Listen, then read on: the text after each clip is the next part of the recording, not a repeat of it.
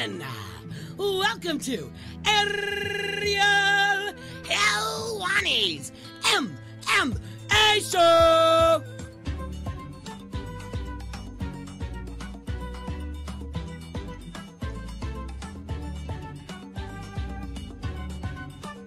Back in your life on this Monday, January 28, 2019. Hello again, everyone. I'm Ariel Helwani. Welcome back to the program. Hope you're doing well on this Monday afternoon. It is a frigid one here in Bristol, Connecticut, and we have a lot to talk about. So I'm happy you're here. Hope you had a lovely weekend. I did. I went to Montreal. I was at a wedding. It was one of my best friend's wedding. I was so happy to be there, but it was also a very busy time in mixed martial arts, of course, because Bellator was back, and it seemed like and by the way, Mazel Tov to my friend who got married this weekend, Julia. I'm very happy for her. So Bellator was uh, on this weekend, and it seemed like they had not been on the telly for quite some time, over a month, a month and a half to be exact. And they came back in a big way. Of course, the culmination of the Bellator Heavyweight Grand Prix, and it ended in I wouldn't say shocking fashion because, of course, I think a lot of us thought that Ryan Bader was a favorite heading into the tournament. I think what was shocking was A, how quickly it ended, and B, that it ended almost the exact same way his fight against King Mo did. The King Mo fight lasted around 15 seconds. The Fyodor Emelianenko fight lasted around 35 seconds, but it was the exact same punch. Look at that lead left hook. That's the King Mo fight. That's not the Ryan. That's not the Fedor fight. Now here's the Fedor fight. Exact same punch within seconds. Unbelievable. What a moment for Ryan Bader. He is now the Bellator heavyweight and light heavyweight champion. He is the double champ in Bellator. He wins their heavyweight Grand Prix as well, and now he has a lot of options. And anyone who thought that his move from the UFC to Bellator, signing that big free agent contract, anyone who thought that that was a mistake, I, I hope by now you realize and understand that that was a huge move, a very smart, a very wise, a very savvy move by one Ryan Bader. It was a fun night as far as the card is concerned. A lot of finishes, a lot of big performances. Jake Hager, aka Jack Swagger, with his MMA debut now under his belt. He wins in a little over two minutes. But how about Henry Corrales and Aaron Pico? A firefight, if you will. An old school Western shootout. Perhaps you can say an old school shootout that one would see at the OK Corral and Aaron Pico dropped Henry Corrales, and then Corrales came back and dropped him and then finished him. And once again, Pico lives by the sword, dies by the sword, still very young, still green as far as his MMA experience is concerned. Uh, some of the very best have lost and have come back. It's it's no big deal. But I think that what's interesting about it is that after the fact, a lot of people say, oh, you pushed him too quickly. Oh, it was too big of a jump up from his last opponent, fighting a guy like Henry Corrales. Well, you can't have it both ways. We criticize Bellator for not pushing the likes of Michael Venom Page quickly enough, and then we criticize them for pushing the likes of Aaron Pico too quickly. Look, he dropped him, and then he got dropped himself because he was a little bit too overzealous and got caught. I don't think it was a mistake of a matchup. I think he'll learn from this. I don't think that Aaron Pico is overhyped. And a lot of credit goes to Aaron Pico for showing up afterwards, answering all the questions. You could tell he was hurting. You could tell he was sad, but he didn't seem uh, to shy away from any of it and answered all the questions. So a lot of respect for Aaron Pico, and I'm curious to see how he responds from all of this. Okay, uh, today on the program, we have a lot to discuss. We have a lot to discuss with a lot of different people. We've got a jam packed show for all of you once again. And I will run down the lineup and then we'll get to our first guest of the day because I'm looking forward to get this one rolling. Okay, at uh, 3:45 we're going to be joined by Demetrious Johnson. Look at these lovely people over here. Wow, there he is, DJ. This is amazing. Uh, the now one championship fighter who, of course, was the longest reigning UFC champion and for the longest time, the only UFC flyweight champion, no longer in the promotion. We'll talk to him about what transpired last weekend in Brooklyn, his thoughts on it all, and of course, life after the UFC. I know he was just in Japan doing some promotional stuff for one. He'll be competing in March, so I'm looking forward, as always, to catching up with one Demetrious Johnson. Henry Corrales will stop by at 325. Looking forward to talking to him. First time that he's on the program. He has turned his life around, his career around since uh, joining the MMA lab in Arizona. Big win over Aaron Pico on Saturday. We'll talk to Darren Till at 305. He headlines the UFC's return to London, England on March 16th.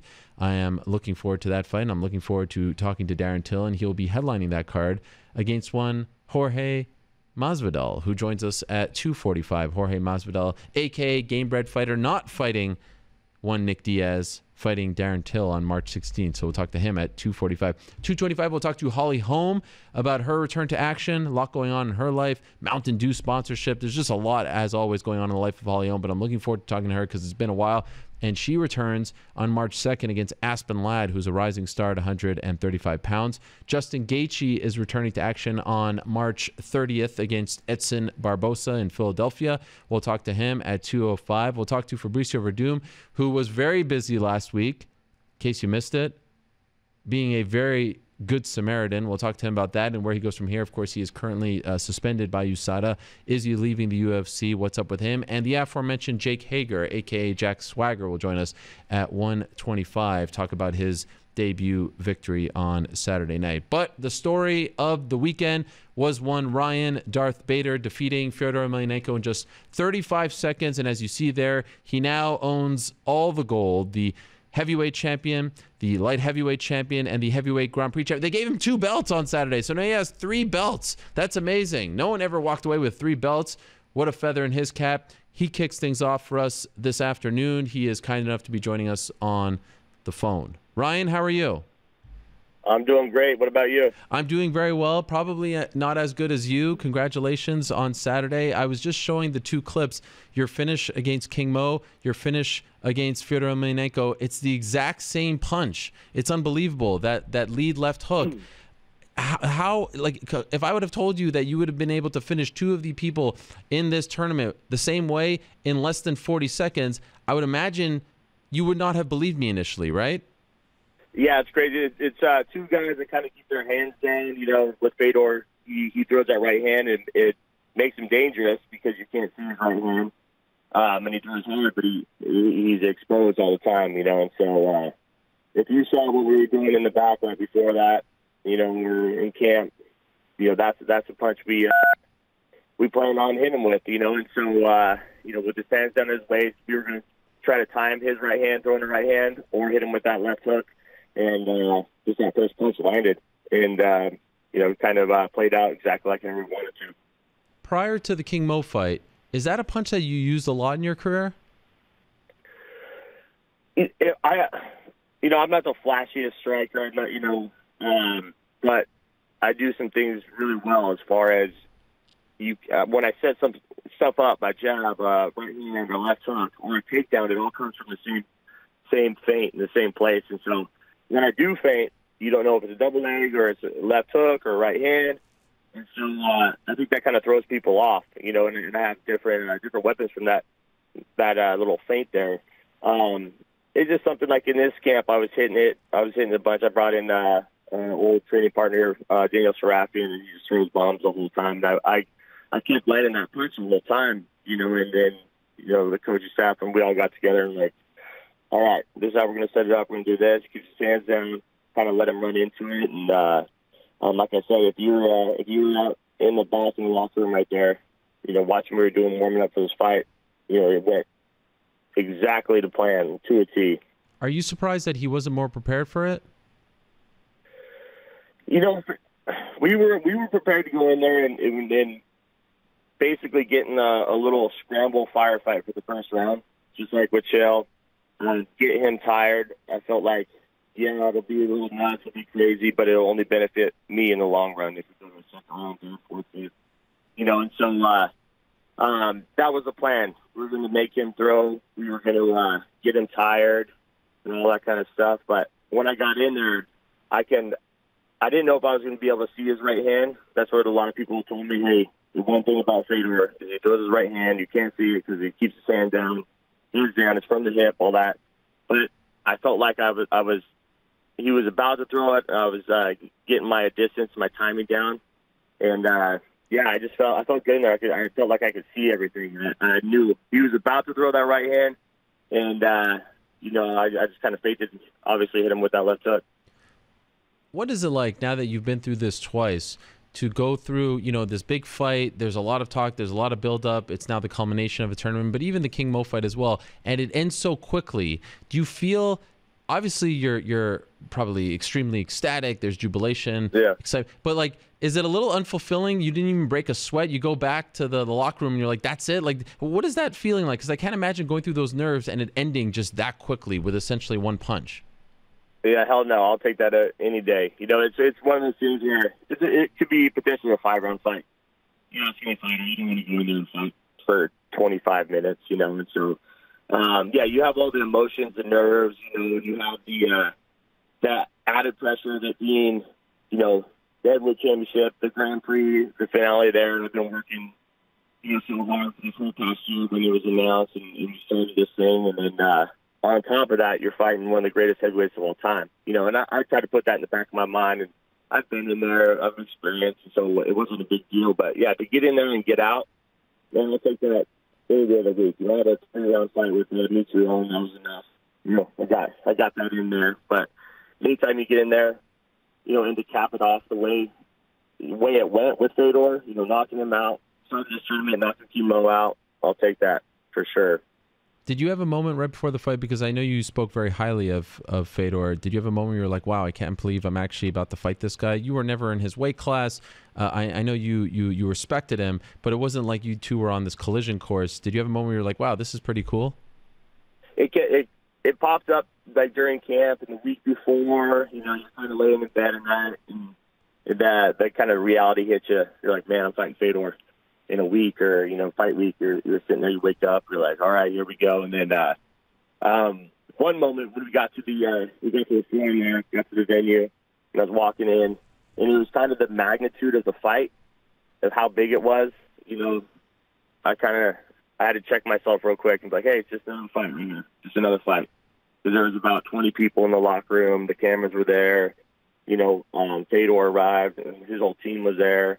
Um but the whole time I, I try to, you know, I, I told myself, stop making bigger than what it is. You're going out there, you're fighting Fedor, yes, but you're fighting, you're fighting, uh, you know, January 26th Fedor, another guy across the cage from you. Don't put him on a pedestal. And so that's, I kept just reassuring myself the whole time. And, and, uh, I feel like now in my career, obviously, mentally, the biggest thing, which in the past might have been, uh, a little Achilles heel, is uh, I got over all that. You know, these big fights I've had before come up short, but you know, this time I just kept on reassuring myself, telling myself, "It's your time. This is your legacy right here. You get to fight Fedor."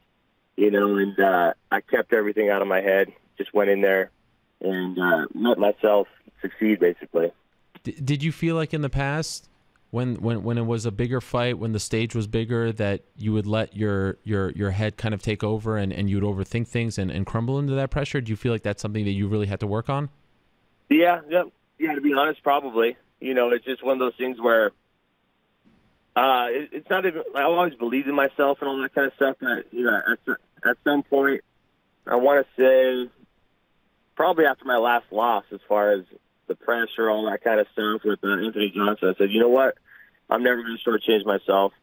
You know, I went out there and I rushed a takedown and just didn't didn't fight basically. You know, and so ever ever since then, I always go back to that moment in my head and say, you want to feel like that again?" When I walked out of that cage, I was embarrassed. I was, you know, I felt like shit, and just I always go back to that moment and say, "Do you want to feel like that again?" You know, you owe it to yourself. You owe it to the people at the time. You know, into you to get this job done and, and go out there and uh, leave it all out there. So ever since then, you know, I've, I mean, I've, I've won every fight, and uh, um, it was a huge getting that mentality and uh, bringing that into the into the you know fight night has been uh, a game changer for sure. You know, it's crazy. The the Anthony Johnson fight, the anniversary of that is uh, three years in two days. In two days, it will be a three year Wow. anniversary. You get what you, I- I'm sure you get what I'm saying here. That's crazy, right? Yeah. Does that does it feel That like is crazy. feels like a lot longer than that in a weird way? Yeah, you know, and, and that, you know, you, you have your losses. Obviously, we don't like to lose and all that kind of stuff. But if I look back through my career and look at those losses, yeah, I wish I would have won these bigger fights, whatever. But um, it got me where I am, and in, in you know, corny, whatever. But you learn from every one. And that last one, it, it just kind of kind of snapped as far as uh, you know, I gotta I gotta change whatever it was that was holding me back. you know, and and uh, I did that, and and we've been undefeated since then. And so, um, obviously, don't like to lose, but it was a good thing. You know, it was a blessing in disguise right there. Have you ever felt in your entire athletic career? Have you ever felt more confident than you do right now? I mean, things are going so well for you. You went through a whole tournament essentially without getting punched, and I, I don't know if Bellator keeps these stats, but I've I've asked around, and it really does seem like in the Mitrione fight. Do you remember actually getting punched once? There's a moment in the second No. round where he, he no one landed a punch, correct? Yeah, no. To be to be honest, I don't know. I mean, I, I got hit with Latifi a little bit. Like, he, I guess he kind of dropped me, you know, back in uh, a couple of years ago, whatever in the UFC. But Yeah. you know, Phil Davis might have hit me with a couple, you know, jabs or a right hand here and there. But yeah, I haven't been punched in years. You know, and it's it's one of those things where longevity in the sport and all that kind of stuff. And I'm feeling great. My my body feels great, especially when you're not taking any damage. You know, and to go through this this tournament, let alone a heavyweight tournament. You know, and uh, not get touched, not get punched, and then cap it off with beating the at least one time. Um, a great run, not done, but uh, that's the pinnacle right there in MMA. And so to go back to my initial question, have you ever felt more confident, even dating back to your college wrestling days? I don't know, high school wrestling. Have in your athletic life, have you ever felt more confident than you do right now um, about your skills? No, and it goes back to what I was saying about the the mental aspect catching up. Like I've always had the physical gifts. I've always been a good athlete. You know, growing up as a kid, all that kind of stuff. You know, wrestling, um, and then getting to MMA. I got into MMA, and I was a wrestler. I had no idea what I was doing on my feet. Probably till, to be honest, and be comfortable till the Rashad fight. And Wow. uh, you know, and you get thrown into the you know the deep waters there. I was on the Ultimate Fighter, won that, and you get thrown into the UFC and, and uh, was undefeated for a while and fighting top guys, you know. And so, yeah, I feel confident, I feel good, but the the mental aspect of it all, you know, the, I was I was fighting for the heavyweight title, fighting Fedor. I had a smile on my face in the back. I was having fun, you know, and, and I had those little little checks and balances in my head in the back, like I was saying you know, you never, I never want to feel like I have, I felt, you know, in, in my last loss and that kind of stuff. And, and, uh, it, it just, just kind of, I feel free, you know, the, these last couple of fights. I, I know I have the abilities. And so, um, and I work, you know, I'm one of the hardest workers in the gym there too. So that, you know, but walking into the cage and knowing that you put in the work and I just kind of, I just let it go from there. Smile on my face, walk out, most confident I've ever been, you know, and, and I, I think the results show. When they first approached you about this tournament, were you into it, or did you have to be convinced to go up from 205 to heavyweight? So when when I uh, when I left the UFC and came over, uh, came to San Jose and met with uh, Rich and Scott Coker, and, and you know they asked. That's what I liked about it too. They asked, like, "Are you open to do some different stuff? Maybe fight in Japan, maybe go up to heavyweight." And I said, "Yes." You know, and I I want to have these big fights. I want to do something different. You know, and I was open to something like that. So when they came over, and uh, we were talking about the heavyweight tournament. Well, we didn't know who was going to be in there or anything. You know, we immediately just said yes, and then we kind of watched that bracket fill out. You know, they literally didn't did not have one name. You know, when we said yes, and so, um, you know, it, it just looking back from that moment to where we are now. You know, it, it was a it was a it was a fun fun time, a cool run, and and you know, it takes all the the hoopla on jockeying for the title shot kind of out of the picture. Yeah. Going there, what I came up in in the, in the wrestling, you know, world of, of bracket, you know, and, and you win, you move on, you win, you move on, and until as a champion. And so it was fun. I, got to be motivated the whole year. I knew when I was fighting, I knew potentially who I was going to fight, and uh, get my head down, did the work, and and here we are. And I feel like symbolically, that's probably the most beautiful part about all this because when I think back to your UFC run, in particular towards the end, I feel like that really defines the end of your UFC run. Like you kept having to maybe do things that you weren't uncomfortable doing, jockeying for position, trying to campaign for a title shot. Yep. Isn't this like th- this must have been so much better for you, and and, and so it feels so much freer that you don't have to do any of that, right? Like the juxtaposition of the two experiences. Uh, I would imagine at some point must have hit you like, wow, isn't this so much better than how it ended with the UFC? Yeah, I mean, you get you get to go out there and compete, and and, and it takes everything else out of it, you know. And, and I get it, I, you know, I I like the shit talking, you know, here and there, but it's it's become you know, used to have the guys that were good at it, and, and that's what they did, whatever. But now it, it's a new normal. You know, you you have to you have to shit talk, you know, and it's only a matter of time until it catches up with you. You know, Conor did it great, and but he backed it up. You know, he backed it up also. Um, you know, so these other guys that are coming out and just that that's what they're they're starting starting with immediately. It's just going to catch up with you. You know, and so for me, this tournament was perfect. I'm not a shit talker, you know, and, and there's a lot of respect there. And you know, fighting Fedor, he, you know, he, he's a, obviously a great fighter, but he's a good person, you know, and, and he's not, nothing but respectful. So it was just it was a nice change of pace. You go in there, you win your fight, you move on, and then uh, you know you're fighting for the heavyweight championship. I think it's Fedor, you know, who's respectful, um, you know, and, and it was just an amazing experience from uh, top to bottom. How much did you weigh on Saturday? So on Saturday, we uh, we weighed in. California does a you know the fight day weigh-ins or whatever in the locker room. I was I was actually 224. Okay. So I was at uh, 228 weighing in in camp. I was at I was 235, but but my body just knows that it's fight time. So we get get to you know fight week and all that, and I, I kind of shed uh probably five pounds. I don't know where it comes from. It just just comes off. I don't know if it's just me uh, amping up whatever, or, the mental drainage of going through and and doing fight week and having a fight looming. But uh, yeah, 224 on Saturday. Do you plan on defending both belts? Yeah, we'll see. Uh, keep an eye. Got to get with Bellator. I have one fight left on my contract. You know, we need to do a, a new deal here. I, I'm having a great time, obviously, in Bellator. I want to see here. Um, but I got to be incentivized to sit, you know stay up here at heavyweight for sure. You know, and, and fight these big boys and defend that belt. You know, I want to defend both.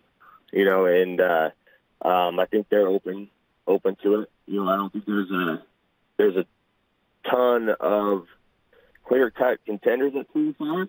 Mm-hmm. And so I, I feel like I have the ability to hold on to that belt for for a while without it being defended. But we'll see. We'll get with Bellator, and, and you know if they want me at heavyweight, and uh, if I get incentivized and all that kind of stuff, I'll do whatever they want. Are you planning on fighting out your contract and testing the waters again? No, like I said, I want to do I want to do a new deal. Uh, basically now. Okay. You know, I have one fight. I have one fight left. I have a little champions clause, whatever, in my contract. But you know, I, a two division champion. We have the light heavyweight belt, the heavyweight belt, and you know, if they if they want me to do something in particular, um, as far as defend the heavyweight or whatnot, um, let's get a new deal done. I'll, I'm having a great time with Bellator. Um, you know, want to stay there, but you know that's gonna happen first. There's no part of you that says, "I wonder what the guys in Las Vegas are thinking." You know, it's obviously it's uh it's a selfish sport, you know, and you're in business for yourself. But but like I said, I've been treated well, and I think I'm going to be treated very well after this um, with Bellator. And so uh, I haven't even really had those thoughts, you know. And like I said, we're we're going to come to the table here and and go through all the hoopla with that. And uh, they make me really happy, literally, I have no regrets. I'm not even thinking about that at all. I'm happy where I'm at, and uh, definitely hope we can get it done. Okay, and and just curious, it seems at least to me at 205. I know you spoke briefly about the 205 division. Maybe there's no clear cut guy. I feel like the biggest fight that they can make for you right now is Tito, that rematch of the fight that happened at UFC 132. Um, and I know you were asked about Tito, and I think you said like, oh, you know, he has to come back and sort of prove himself. Do do you not feel like, as far as like big fights, a rematch against him would be the biggest right now for you? Or am I wrong in thinking that? Oh yeah, hell yeah. I, I would, you know, if that, I was just saying that because I, I didn't know if they would ever take that right away. But hell yeah, I would take that immediately. You know, um, I, that's why I came over. I came over to Bellator. That's where I sat down, and they were asking if I was open to do stuff like that, like Japan heavyweight. You know, th- that's the thing. I'm open for these bigger fights. You know, um, I don't want to. You know, with like the 205 division, you know, I don't want to go down there and fight. You know, well, I I don't I don't know the guy's name, but like the the Russian guy, he's, he's a good fighter. Nobody knows his name. You know, I want these big. I want these bigger fights. I'm at the point in the career especially you know being a two division champion, coming out here and doing this heavyweight tournament. I was, um, you know, every time I walked out, it was it was uh, it was a huge fight because it was it was uh, it was not just one fight; it was part of the whole tournament and all that kind of stuff. And so, for me, yeah, those are the fights I want. You know, the Tito's, you know, uh, you know, a big heavyweight fight. You know, and I want to I want to defend my 205 belt for sure, but I don't want to just, you know, fight a, a guy nobody's ever heard of. You know, uh, I don't know. Well, definitely, if Tito, uh, if they would make that fight, I definitely definitely want it and take it. Last thing, does does Chael Sonnen constitute a big fight? Is, is that a big fight? Yeah, no, yeah, no. I, uh, Chael would be a big fight. You know, he he's got his, uh, you know, he's got his fans and all that, and uh, you know, it, it that it goes back to the same with Tito. If if Bellator can justify putting Chael into a 205 pound title fight, you know, after he just got smoked with, uh, you know, with Fedor, I'm all for it. If they can deal with it, I, I'm all for it. All right.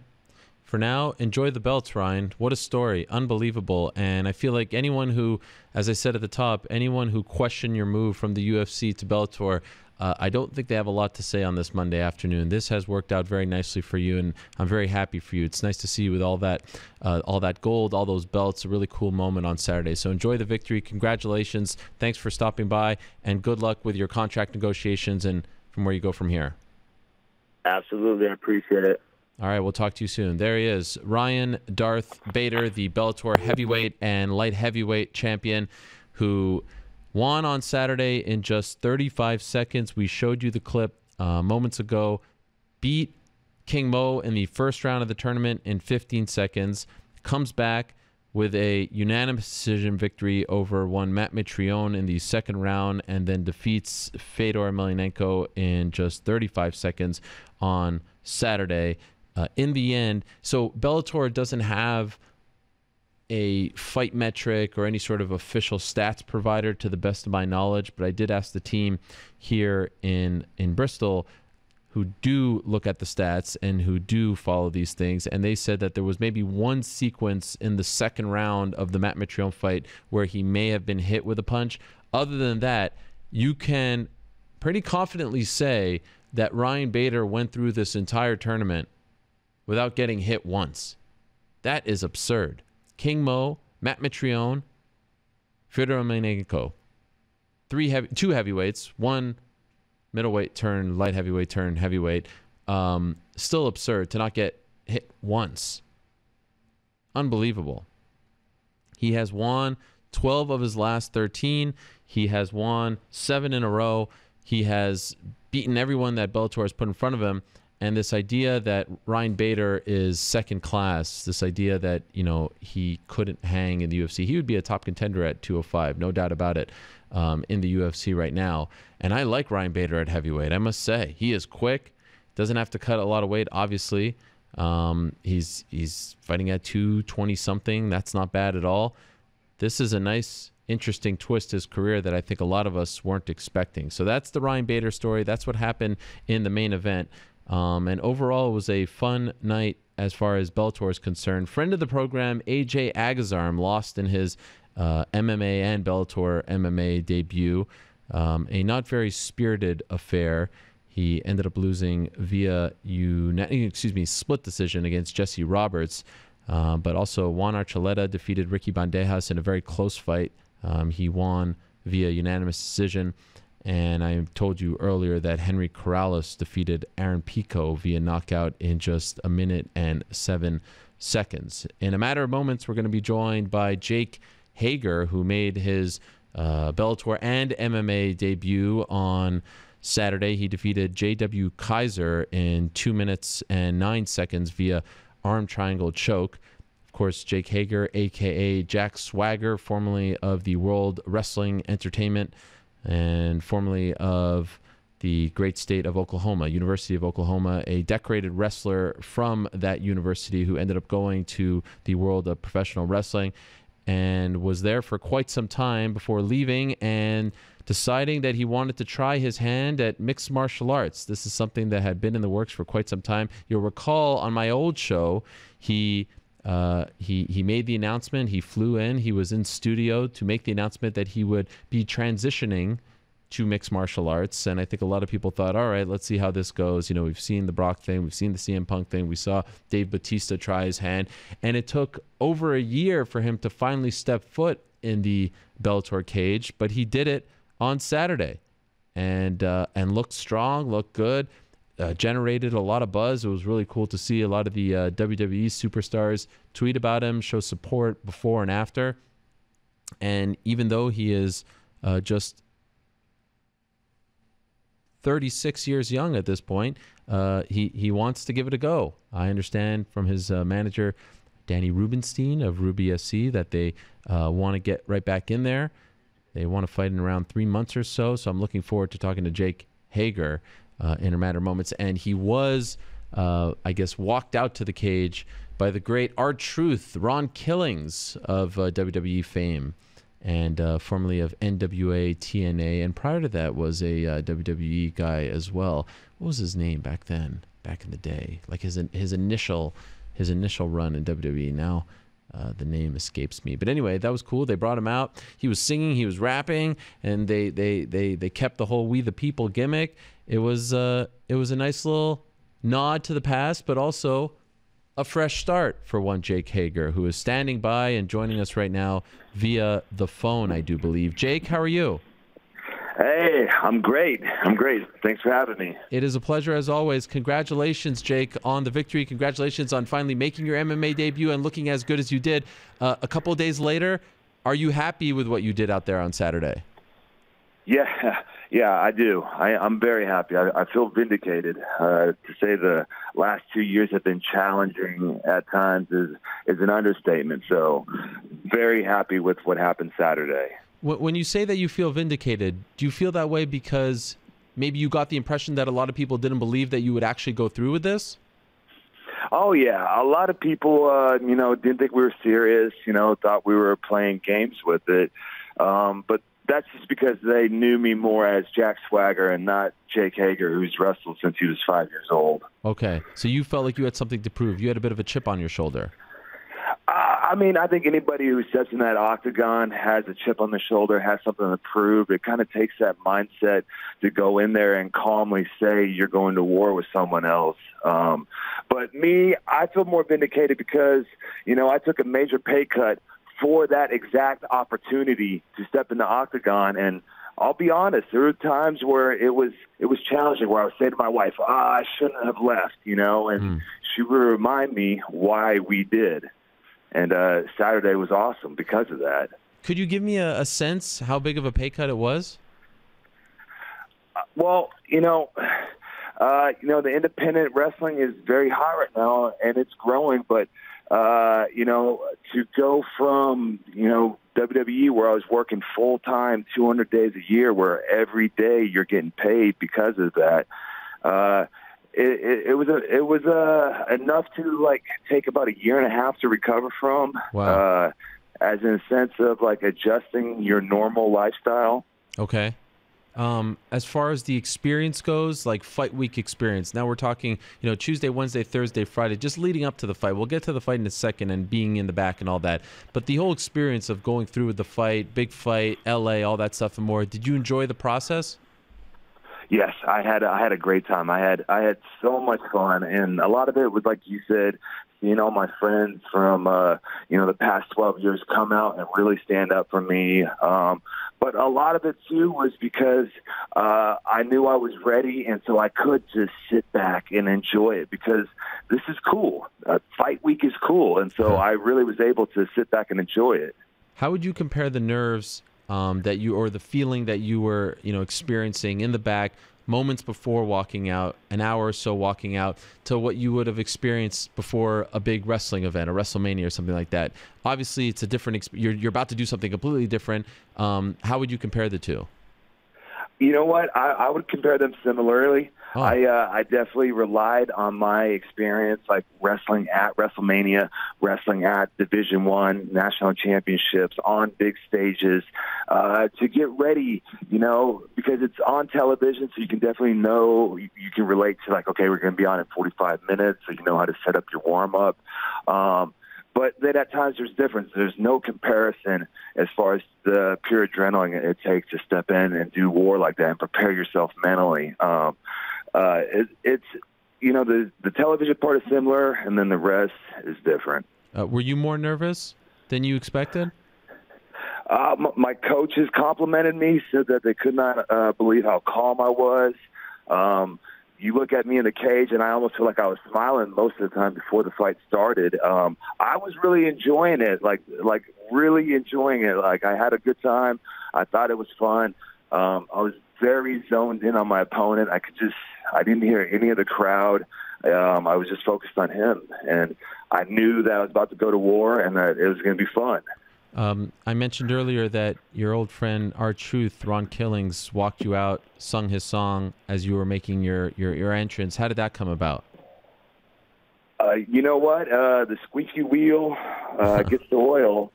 So uh, we had the idea when I left, like, oh, wouldn't that be cool if, you know, you played your music while I came out to do MMA, kind of just sitting around talking about it for – so many years now. Um, and so we just asked, and uh, Mr. McMahon uh, graciously, uh, you know, said he, he didn't have a problem with it. He knew um, Ron Killings, R-Truth, is a WWE guy, and go ahead and promote your music because it's great music. And it was just a cool opportunity where two best friends got to come together.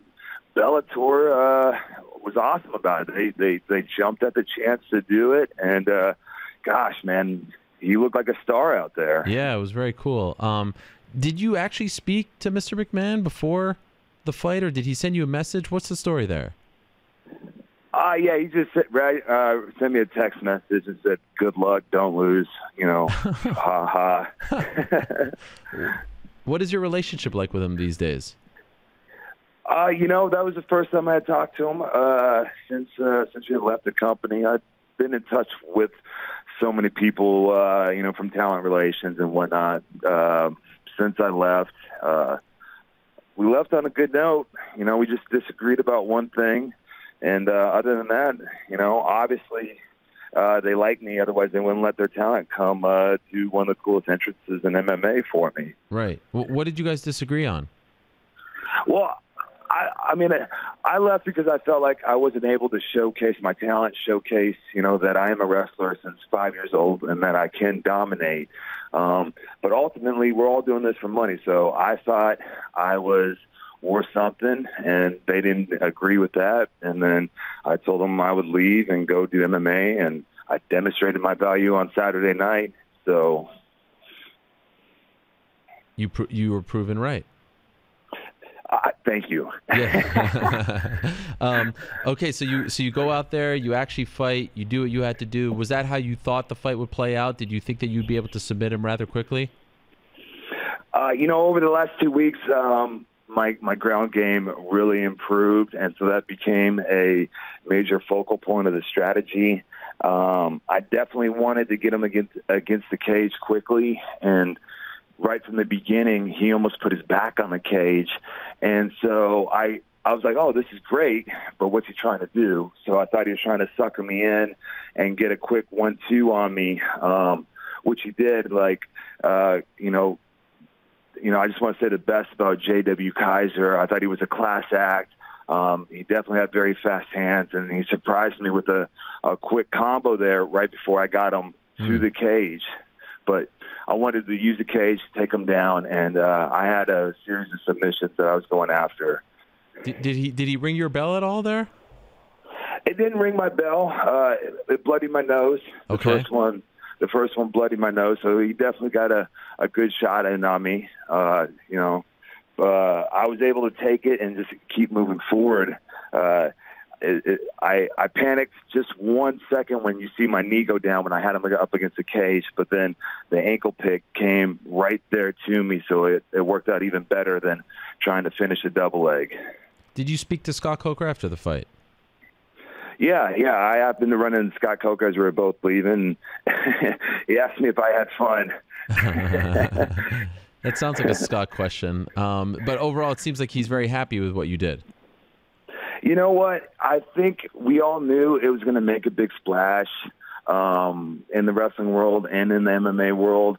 Um, but I don't think anyone expected the outpouring uh, love and just uh, coverage that it got mm. from so many, uh, not just wrestling fans, but also like a lot of media. And it was really cool to be a part of. Definitely stroked my ego.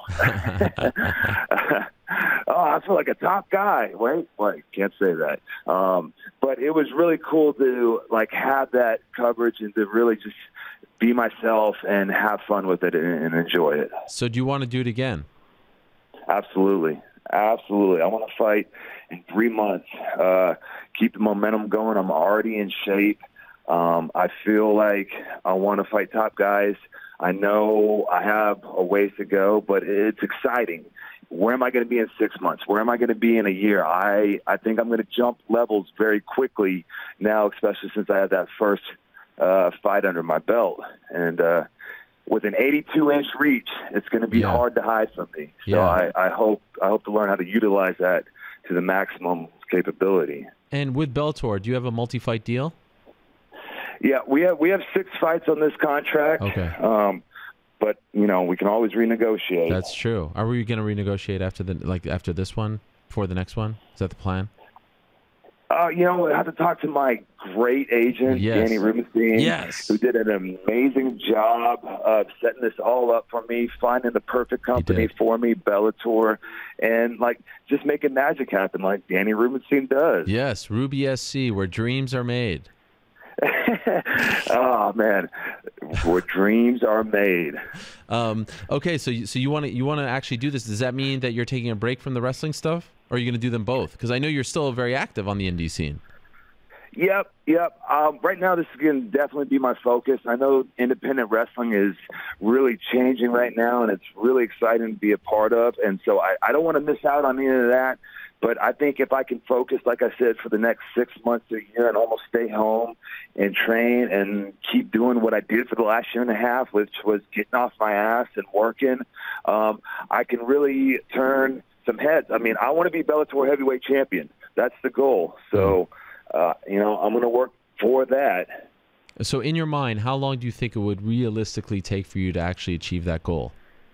To get ready to fight a a champion like Ryan Bader, yeah. you know, I would say a, a year to a year and a half, I could be ready for that. But wow. at the same time, I might be, uh, I might surprise myself and really jump some levels here um, very shortly. I'm very confident in my wrestling.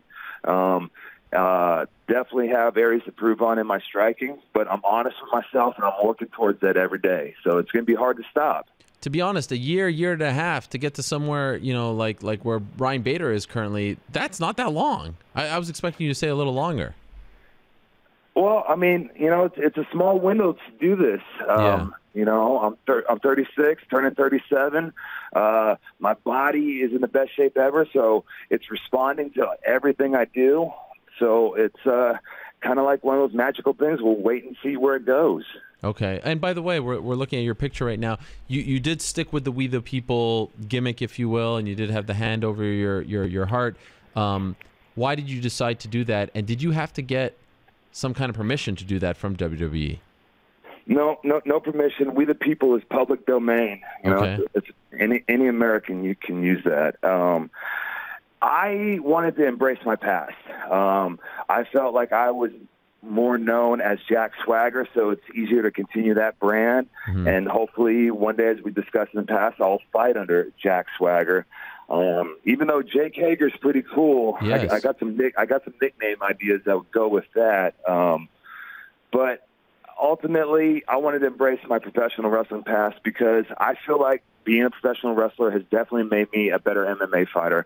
I feel like because I wrestled at WrestleMania and some of the biggest arenas in the world, Madison Square Garden, Staples Center. I was able to handle Saturday, even though it was my first fight, I was able to handle it like a pro, go out there, cool as the other side of the pillow, and take care of business. So why why run away from that? I agree. Now, why couldn't you go as Jack Swagger for this one? Uh, because I, I don't own the intellectual property rights for Jack Swagger. Okay, you're working on that. Yes. Okay, you feel confident you'll get it? Ah, you know, it's uh, a lot of legal talk, but I, I got a great lawyers like my sister Tessa Hager. What? Okay. Um, help, helping me with it, and so I feel confident in her. Okay, and and and just curious, we the people under this you know umbrella, the MMA version. I, I'd imagine it doesn't mean the same thing as it did in your your WWE life, right? What does it mean, right? In the the 2019 Jake Hager, we the people. What does that mean? Well, I mean, in this world, I feel like we all need to be nicer to each other. So I feel like we need to come together and, you know, admit that we're all here for the same reason to live. And so I feel like let's come together. I feel like that's just like let's the people come together. Let's not fighting each other. Yes. But let's fight. Let's fight in the octagon. I love it. I love it. And by the way, Bellator is not an octagon. I just want you. It's a circle, right? So you, you have to be careful when we talk about intellectual property. You have to be careful with that one. We don't want to piss off Scott Coker. Ah, See, I'm a rookie. Yeah, I'm, a, I'm a rookie, it's Ariel. Okay. You're green, Dang as they say in the business. You're green. You you I'll took stick with you, all right? you took a very big step on Saturday. Uh, very happy for you. You did it. Uh, very cool. Uh, you know, you, you you came on my show to announce the news many moons ago, over a year ago. Then you actually went through with it. Not only did you go through with it, you submitted the guy in two minutes and nine seconds. Well done, my man. I'm looking forward to seeing where you go from here, uh, how you grow, and your next steps and all that. So we'll see you again in around three months or so. Uh, for now, enjoy the victory. Congratulations, and thanks for coming on this afternoon. Thank you very much. It was a lot of fun, as always. All right, we'll talk to you soon. There he is, Jake Hager, one of the newest faces in Bellator. Bellator heavyweight. He wins his debut on Saturday night. Okay, let's move along now and say hello to our next guest. Speaking of heavyweights, he is currently a UFC heavyweight, but we have a lot of questions about his future. Let us not waste any more time and say hello to the former UFC heavyweight champion, the man who first defeated Fedor many moons ago, one Fabricio Werdum, Cavalo himself. Fabricio, how are you? Everything's great, man. How are you? I'm doing really well. Thank you for doing this. It's good to talk to you. It's been a while. Okay, uh, Fabricio, we have a lot to talk about, but first we have to talk about the most important thing. Uh, last week, um, I, I got word it was Tuesday morning that you were the best Samaritan of all. You saved someone's life. Can you tell me the story here? What exactly happened at the beach, and when did it happen? Yes, the last Sunday, man. The last, yes, July, no, the last two Sunday, yes. Yep, yep. Uh, and uh, it's crazy moment, man. In my life, for sure, everything's changed my mind because I just uh, ha- take my family to see the when I go out the water Yeah. and uh, have a two guys in the water like a kids, you know, 16 year old, old. And uh, when I saw the lifeguard, I just ha- I just saw one guy life uh, lifeguard. When I saw just one, I say to my wife, I have to help, you know, and I just go like a one second decision, very quick decision. I go and I take the board. You see my hand there? Yeah. You see this? Yeah. I take this in the, his car. He take the board, and that is very far area, very far. But I'm very scared too, man. When I go to the fight, I'm not scared. But this moment, I'm very scared. Wow. And yes, I'm very scared, but I go because there's one life, you know. And I saw this, and uh, when I look there, the the girl say, "Help! Help! Please help!" But very uh, like a scream, the ice very, you know. And uh, I just say to the guy, the lifeguard, "Hey man, you take the boy, the the the girl, I take the boy." And I go, I take him, and uh, he very tired, exhausted, man. He drink a lot of water. He tired, man. I take him. I just uh, start to walk. I, I'm swim little bit. I'm swim and I just start the the the, the, the walk, and uh, I take him. I put him in the, in the car, and everything is great after then. But I mean, it's very uh, it's extreme moment. You know, uh, the decision is very hard decision because imagine your family, your daughters. My wife very nervous. My daughters started crying Oh. And uh, I mean, it's very hard decision, but uh, I'm happy after that. I'm very, I'm feeling very uh, good. Yeah, that. that's unbelievable. Yes. Uh, amazing what you did. Parabéns for what you did um, for those kids. Thank kids. you, thank you. H- thank how you. old were they? Teenagers? Yes, like at 16. You know, both. 16. Wow. I saw, I, I saw the guys before, Yeah. but I know, I know, I just saw the lifeguard coming hi- his car. He started the siren. Wow, Yeah. Very. I say, what what happened here, man? I know, I, I don't know, I don't see nothing. When I saw, he stopped in front mine. He stopped in front mine, and uh, I say, okay, because you know the guys know the guy's professional, but I just have one guy, Yeah. just one a lifeguard. Yeah, and I saw two kids in the water. This is why I go boom inside the water. You know? Wow. And how? And uh, it's very it's very cold, man. This is this day it's very cold, yeah. but I don't feel in the water nothing cold, zero. And my adrenaline is very high, you know. Incredible. Yes, yes. And how far did you have man. to swim to get them? Man, I think like uh 50 meter, meters, you know, Whoa. 50 meters. Very, uh, it's very far, very far. And Yes. and uh, are you a good swimmer? I'm not like a professional, but I'm good. and why were they out so far away? What were they doing? I know. I think the guy's very. Um, uh, it's not too far away, and just the water pushed the guys. you know, Oh, okay. Okay. Yes, because very. Uh, it's, you see the, the waves there. Yeah, yeah, yeah. Behind the waves, very there. Uh, very far. Very far. Yes. Wow. And that's you It's holding the red thing, right? Like Baywatch. Yes, I, I hate. I yes, I like. Uh, you know, I, I I just take this because I, I, I just in my mind, my I believe I have something. When I saw the lifeguard hit the board, I look his car. I saw this thing. You know, I don't know how called this thing, but I just take this Yeah. and I go and I put in my chest and I put to my chest and I go. You know. That's Yes. unbelievable. Um, and, and and so when you took them out of the water, were they okay, or did they have to go to the hospital? Yeah, the, after then the guys go to the hospital. Yes, for sure, man. He, uh, the the guy, the the kid, Yeah. drink a lot of water. You know, Okay. I don't. I think the the girl don't drink a lot of water, Okay. but him, yes, he he drink a lot of water. Yes. Does he know to swim, or did he know to swim? Yes, man. The guys know, but the waters uh, push the guys for the very far away. You know. Oh my gosh, this is amazing. Yeah.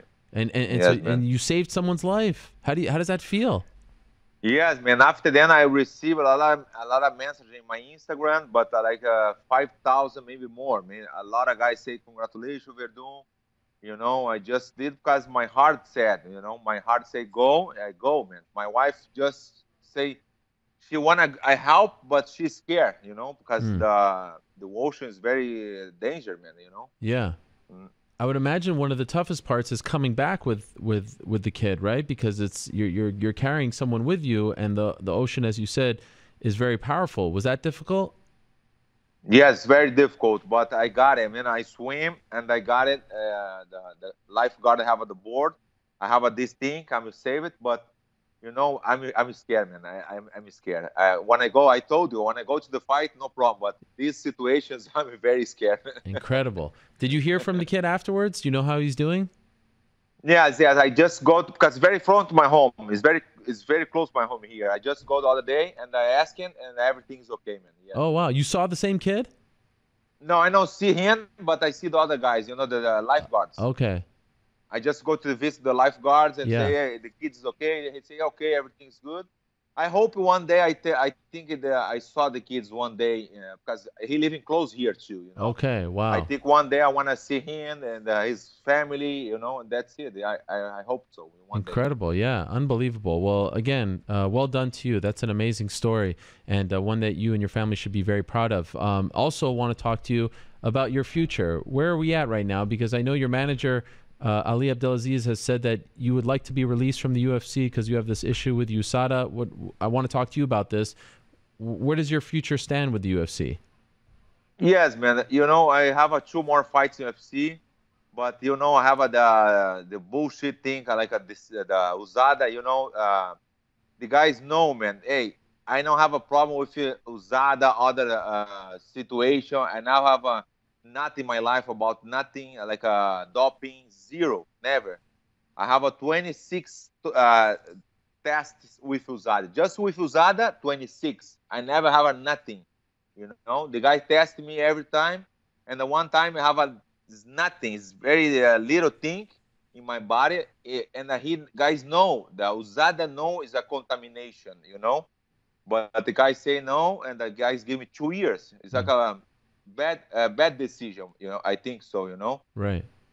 And it's very a very hard situation because I don't want to stop the fighting. I'm very young yet. I'm 41, but my mind is like at 28. You know, I'm Yeah. very young. My body is okay yet. You know, uh, and uh, yes, man.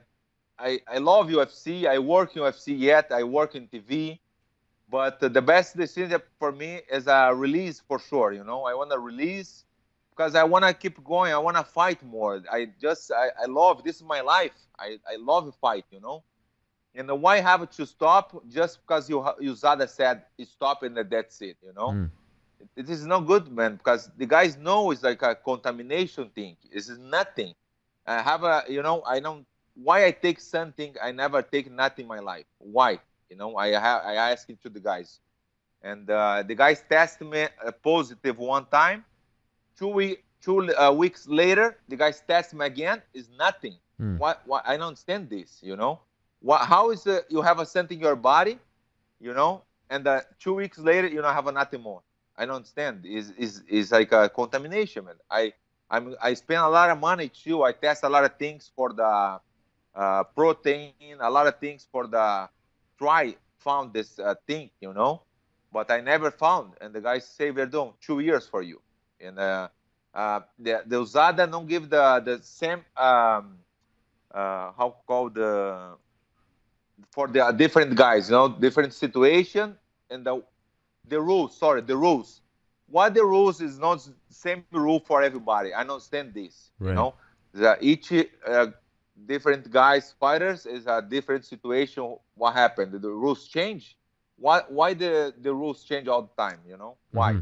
yep you know this is very bad man this for for me the best decision for sure i love ufc i say thank for all many years i had ufc man i fight in the best events in the world in pride in uh, strike force ufc a lot of different but man ufc they care me all the time and I want to say that USADA is one thing and the UFC other thing. You know, it's different organization. But I want to say to UFC, please just release my contract and I keep going. I go to fight in different uh, uh, country. I now fight more in, UFC, uh, in USA. I don't know, but just uh, I want to I want to I have a more thing. I want to show more things. You know, uh, for sure I have a more. Okay. I, I think I have a two, maybe three or more years. You know, for fight. Okay, so there's a lot I want to ask you about what you just said. Um, most importantly, do you know where the contamination came from? Like, were you able to find the supplement or what? Like, do you have any idea? I tried the found. I, I test a lot of things. I told you I, I spent a lot of money. Yeah. I mean, try, but I never found the where. Wow. I believe I believe is the the, the meat. I, I eat a lot of meat. You know. Mm-hmm and I I Google the meat from uh, one market. I don't want to say the market, but uh, and I have a contamination, the trebolona, the same thing I have in my body. But I say to Zada, and the guys don't care about this, you know. The guys don't wanna test the, the meat, you know. I don't know, man. It's it's, uh, it's so hard situation for me because just look my background. I have a zero.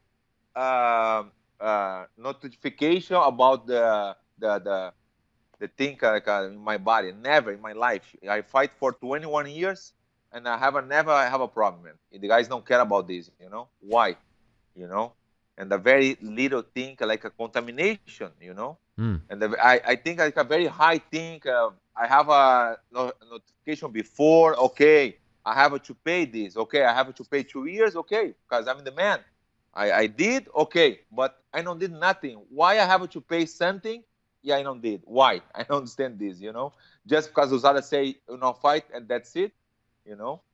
So when it's you so hard situation. Yeah, I can imagine. So when you see like jon jones's situation and he gets a year yes, and man. then he gets, I, I, mean, this must really frustrate you, right? Because uh, I'm I'm imagining that what you were saying just moments ago was that essentially they are favoring other fighters, right? They're they're picking and choosing how they're going, as opposed to just having a clear cut, black and white. Everyone who does this one time gets X amount of time, et cetera, et cetera. You think that they're actually playing favorites? Yeah, that yeah. This I told before. I why the the rules change all the time. The rules yeah. for somebody's uh, one rules for Werdum is one rules. For other guys, it's different rules. Why? You know, is the rules the same rules for everybody. I'm okay, okay, but you know, I don't understand this uh, arrow. Why I have to pay something I don't did, man. Yeah. I don't did nothing. This is just look me and uh, you look my body and I have a problem. Never in my life, and the guys don't care about it. Why? You know, I have a meeting with USADA five hours. I go to Denver. I have a, a meeting close to the airport. You know, five hours the meeting with the guys. I say just the true things. The guys asking a lot of things to my life, uh, everything. I say everything to the guys, and after the kind of guys, two years, no, Wow. no, two years for you. Why? You know, I think my wife, man. I don't know you saw that, but all, all the time, you know, I'm a very joking guy. All the time, I'm joke, joke all the time. You know Yeah, yeah, yeah. when the USADA go to the uh, the uh, Kings to test me, I say like a joke, you know. All the time I said, "Hey guys," I film, I post my Instagram, I film, I say, "Hey guys, USADA in the house," and everybody ooh boo, you know, and I smile a lot. And my wife say, "Hey, be careful. One day, have you have a problem with this?" I say, "No, this is a joke, and no problem." I say to my wife, and today I, I give two reasons to her because I believe this Wow. uh, happening for the guys giving two years. You know, Wow. I believe that. Yes, I believe. Yes. Okay, I'm so joke, but the guys don't care about right, joke, of course. Um, have you or your management sat down with UFC and said, "Please release us"? And if so, what are they saying? Why aren't they releasing you? Yeah, because the, I'm the former champion. The guys love me, you know. Uh, but I don't know, man. It's, it's too much, man. Two years. I'm at 41 now. I'm okay. I, I told my body's okay. My mind is good. But two years, you know, it's too much, you know. And uh, I sit with the UFC, and the guys don't want to release. But I just say, please, I want to take care of my family. You know, I have a good life for sure but I want to keep going the fight, man. I, I, I just want to release. I have a good history of uh, UFC, long time. I did a lot of things. I'm two times uh, UFC champion. I got in the belt versus Mark Hunt versus Cain Velasquez. You know, I help UFC for a lot of things, man. I just say please, and I just go my way. You know, Yeah. for Japan, the Russian, different plays. I fight maybe two more years, and that's it. You know, I'm finished. You know, but I wanna, I wanna, I wanna stop the fight when I say I'm okay. I'm okay. I'm finished. Not somebody say you stop the fight. That's it. You know, I don't like this. And do you think that they're going to actually uh, oblige? Are they going to actually release you? Or are they going to keep you? Because you know they did to Tom Lawlor. Two years he was gone. He was suspended, and then right at the end of his suspension, then they released him. That doesn't help you. That's not what you want. So do you think yes, that I, I, believe the UFC don't did it with me because the guys love me too. I love UFC, but yeah, man, it's so hard situation. But I believe the next time when I go to UFC, I believe UFC very nice company. The guys say we're doing okay. You did a very good things with us. You work in TV, blah blah blah. And uh, please, okay, that's it. The least Okay. with you, and uh, go- give your your your way, and uh, that's it, man. and when when no, are I you just meeting say with them? good things to UFC. When are you meeting with I them? think, I think next week. Oh. I just talk with uh, Ali first. You know, I wanna talk with Ali again, and I wanna go again there. I wanna try again. You know, I don't wanna waiting because the, the time is past one, two months, three months, one year, and uh, you know, it's so hard. It's so hard situation. Man. It, it must be Yes. frustrating because you're healthy right now. You want to fight, right? You can't Yes, make money. I'm very healthy for sure. I just run in the beach now, man. I'm going to the beach now. I running. I have a fight coming up. You know, I have a fight versus Gordon Ryan. You know Gordon Ryan? Yes, uh, combat ju- Yes. jiu-jitsu, right? Yes, combat jiu-jitsu is a new thing. I mean, I, I love the the idea. The Eddie Bravo and uh, Victor Davila.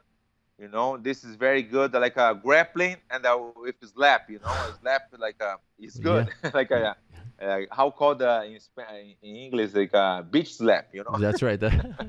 and Gordon Ryan's great. I mean, he's he's a star in that world, the king. Yes, for sure, he's great, man. Uh, he's he proved uh, he's the best in the world now. He just got the the world championship. You know, he Right. got the division and the open division.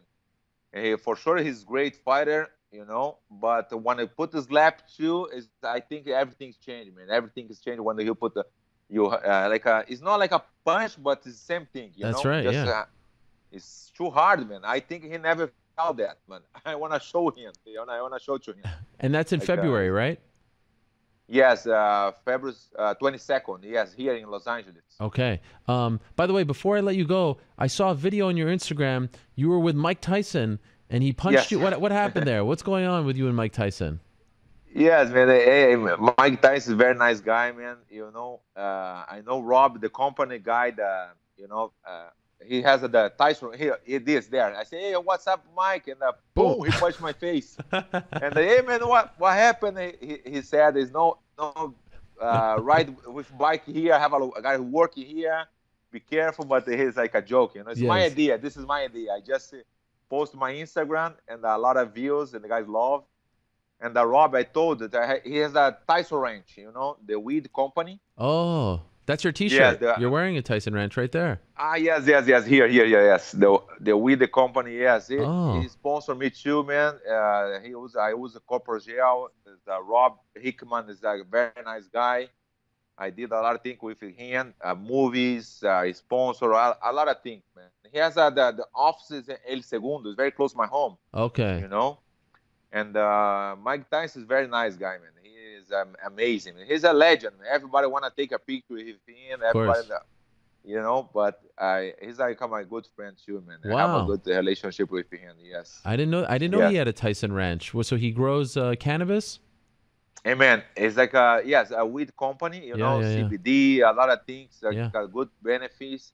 And uh, hey man, the company is very, go very high, man, very high level, man. It's like a, a lot of money too, and uh, I think it's good company, man. Yes. Okay, so the plan is hopefully next week, next two weeks, you go back to Las Vegas, you sit down with the UFC, you ask them respectfully, can you release me so I can go out and continue my career, and then and then you hope that they do that, and then shortly thereafter you want to sign with someone and get back to work, right? You want to fight ASAP. Yeah. Yes, you're good, man. You want to go with me, please? yes, I told Ali I could do a lot better work than him. You know, step aside, Ali. Let the big boys do the business, all right? And you know what? Dana White loves me, so he'd sit down and he'd listen to me, no problem. Yes, yes, yes. yes, yes hey, yes, man, yes. for sure, this idea, you know, I believe the UFC got in and uh, look everything I did to UFC. You know, UFC did a lot of things to me too, man. The guys, they carried me all, all many years you know, I'm the former champion two times, and uh, I believe the guy released and just just see everything. Okay, man, sign here, release, and uh, keep your wa- uh, way, you know, and that's it, man. And just I wanna give my life. I have a daughters. I have a two daughters with me, my wife. I, I wanna give the good a life I give to my daughters. You know, I keep going this. You know, this is very important for me. I believe the UFC look everything and uh, release it to me. In the meantime, you're saving people people's lives, so it's not bad. Yeah, now I, I got it. Uh, Superman. I start. I, after I stop the fight, I know I'm my next uh, goal, like a lifeguard. You know. I like it. Baywatch with Fabricio. I just want to say uh, thank for all the cops, the lifeguard, the the everybody. The guys did. I mean, the guys did every day. Guys uh, save life yeah. This is amazing, man. This is uh, I just did one day, like, uh, and uh, I feeling very well. Imagine the guys did every day, man. Yeah. This is very nice job. I say congratulations for all the guys, man. Congratulations to you as well, Fabricio. Great to catch up with you. Great to see you again. Thank you for coming on, and good luck with the UFC. I hope that uh, you get what you're looking for appreciation for you again, man. I know you many years too, and uh, I love you. When I saw you have a, your show, everything is okay. It's very famous. You're very famous now. I'm not famous, but you're very famous. Hey. hey.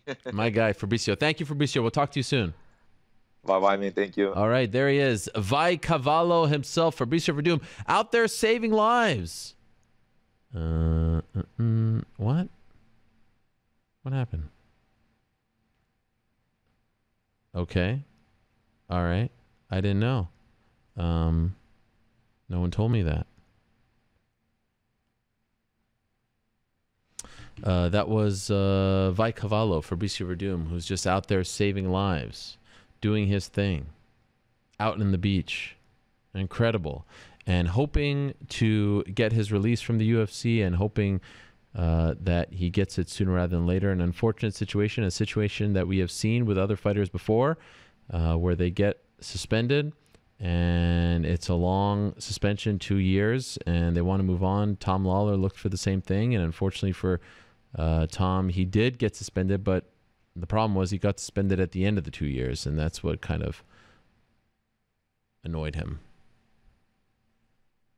in this case, the suspension isn't a year old. It's probably, I think, if memory serves me correct, it, it started in May. So, you know, his last fight was in March against uh, Alexander Volkov.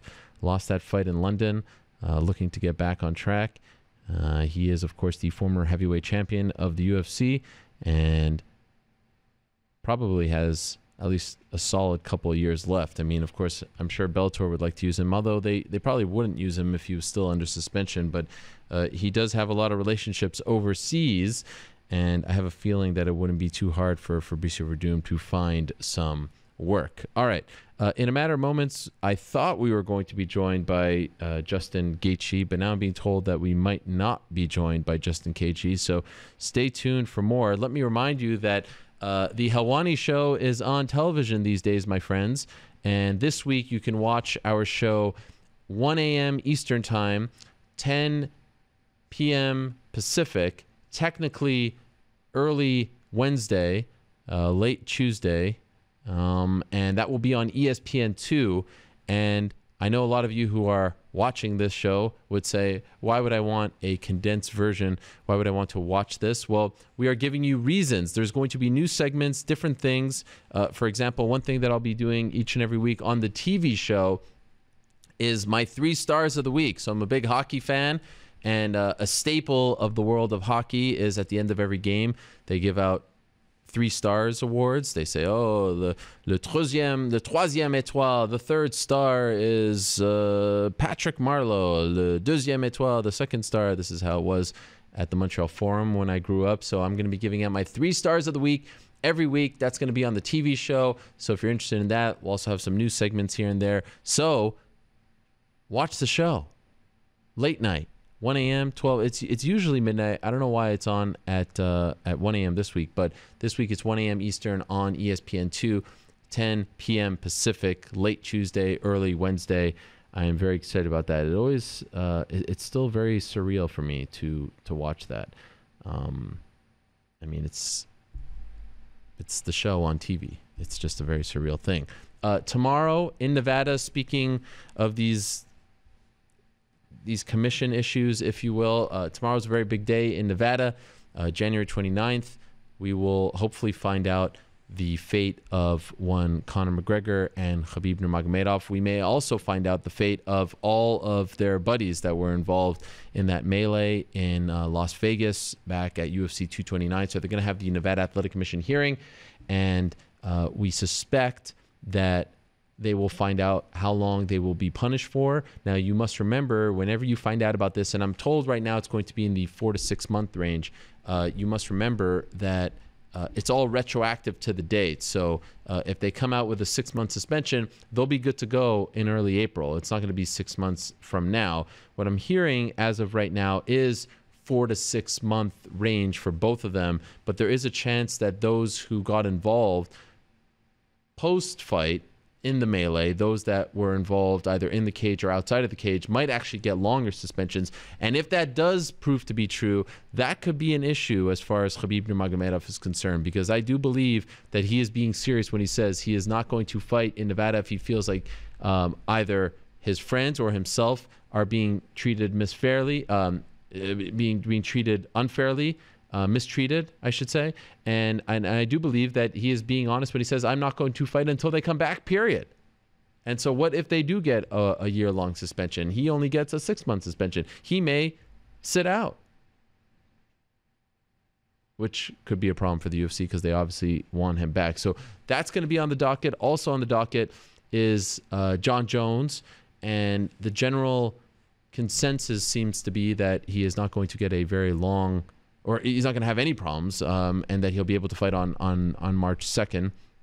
Dana White coming out and talking about that fight against Anthony Smith to TMZ, uh, I think kind of, you know, tipped everyone's hand that okay that they are going to go ahead with this, and more importantly that they don't suspect that Nevada will have an issue with this. You'll recall he was supposed to fight at the end of the the the year in Nevada. Nevada said they needed more time. They needed to have their hearing in January to see what was going on with the the, the picograms and was it really from the old test and uh, do they feel comfortable relicensing him because he didn't have a license to fight in Nevada yet? He only had a license to fight in uh, the state of California, and so.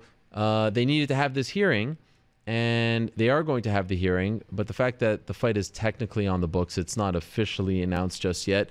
Uh, seems to be a sign that everyone is confident that it's going to be okay. And in fact, they are going to have a press conference on Thursday. They've announced that there's going to be a press conference on Thursday, but they haven't announced who's going to be at said press conference, which is very interesting. Um, and that's because they don't want to let the cat out of the bag. So that's going to be on the docket tomorrow in Nevada. Uh, so it's it's it's going to be must see TV. I'm curious to see how Nevada handles the Jon Jones situation. I'm also curious to see what they do with Conor and Khabib. And last week it came out that in a VADA test, so now Jon has to work with the voluntary anti-doping agency, who doesn't actually punish; they just uh, administer the test. A lot of people consider them to be the most kosher, the most up and up um, testing organization out there. That the picograms did show up and it's amazing to me that it wasn't really all that big of a story. And so you're either in the camp that, yeah, okay, this is just going to be there forever. You believe in this pulsing effect, if you will, uh, which there isn't a lot of data on. Um, or you're in the camp that, wait, something kind of weird is going on here that we've never seen before because we've seen in other sports where things happen. Um, you know, someone gets gets popped and the the the the substance whatever it may be, as small as it may be, is still in the system for an extended period of time, and it just doesn't go away, and they can't compete until it actually goes away, even if that means several years. In the case of Jon Jones, that's not what is happening, and I'm curious with that news coming out uh, mid last week uh, via MMA Fighting. What is Nevada going to say about that? Do they even care? Are they buying into what the California State Athletic Commission and the United States Anti Doping Agency have said, which is essentially this is an old uh, this is an old infraction. You can't be tried twice for the same infraction. So as long as it's the same long-term metabolite in his system, we are not going to punish him again. I know that there are people out there uh, like Daniel Cormier who do not believe uh, in that story, but that appears to be the world that we are living in. So that's tomorrow in Nevada.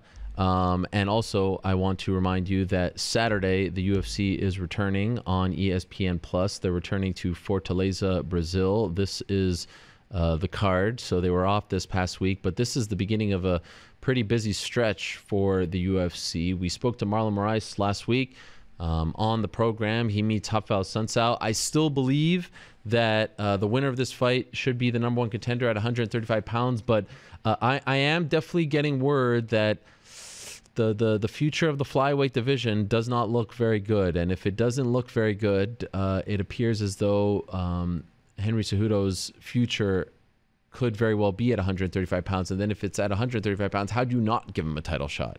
if you're going to take away his division, if you're going to take away his belt, and he just beat the champion in that weight class, how do you not give him a title shot right off the bat? I don't know. So let's. I know last week he did meet with the UFC, um, and it's been hard to get in touch with him. I think he's in Brazil right now. Um, so perhaps he's going to be doing media surrounding this event. It's been hard to get an update on how that meeting went. Something tells me the fact that I haven't been able to get that update it didn't go maybe as planned.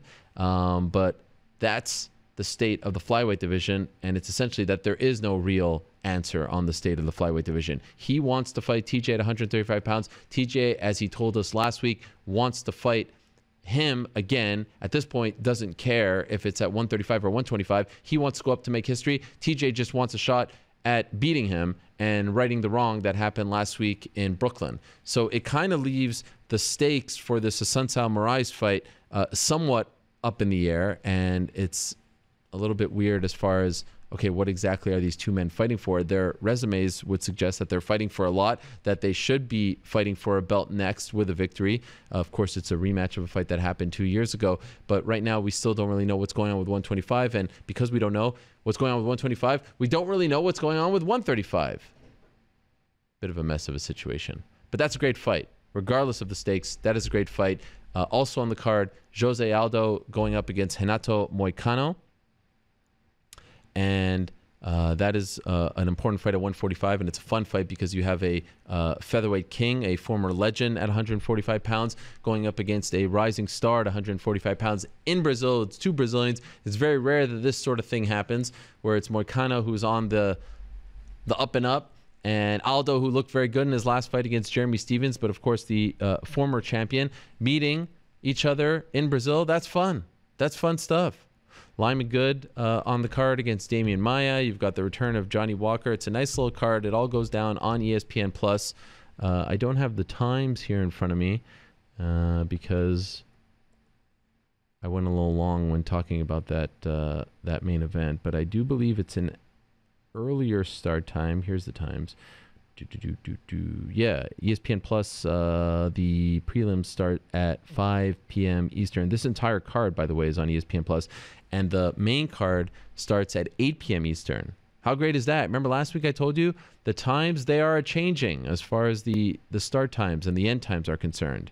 I know a lot of you are very excited about that. I'm probably most excited. By the way, back to uh, Conor for a second as I was getting into his future. Uh, last week I was talking about Donald Cerrone and I was talking about on the Bad Guy Show, Ariel on the Bad Guy Show, and I said that I didn't really love the way he's going about trying to get this fight. That he's, uh, you know, I just I just felt that it was a little bit weak. I felt like it was, you know, he was paying too much respect to Conor. He was coming out and saying, "Oh, you know, I'm I'm I'm just living in Conor's world, and it would be an honor to fight him." And hey, let's go have a Budweiser. It just I, I didn't understand how we got to this point when three years ago we were at a press conference um, in Las Vegas and he was talking about how Conor couldn't hang at 155 and he'd never beaten anyone of note before. And now all of a sudden it's all chummy chummy. Now, of course, I know that Conor is a lot more popular and a lot, um, you know, he, he's accomplished a lot more in his in his life and in his career since then. But it just seemed a little funny to me. Uh, I think I, I upset a lot of people with those comments, but it's interesting to see that and and and to see his approach, Cerrone's approach, and to see the reaction to all of that. And then a couple of days later, here comes Max Holloway uh, going on tours of uh, the Jameson distillery, I think it is, with the subtle jab at proper 12, saying that it, it's not a watered down trend, um, and then and then going on a tour of Croke Park. I mean, this is great stuff. This is very fun. This is look. I'm not saying come out there and just like manufacture hate, but let's be a little creative here. I don't think anyone wants to see a uh, a glorified sparring match. There he is. Look at that smile. Look at Max hanging out with the guys. This is amazing.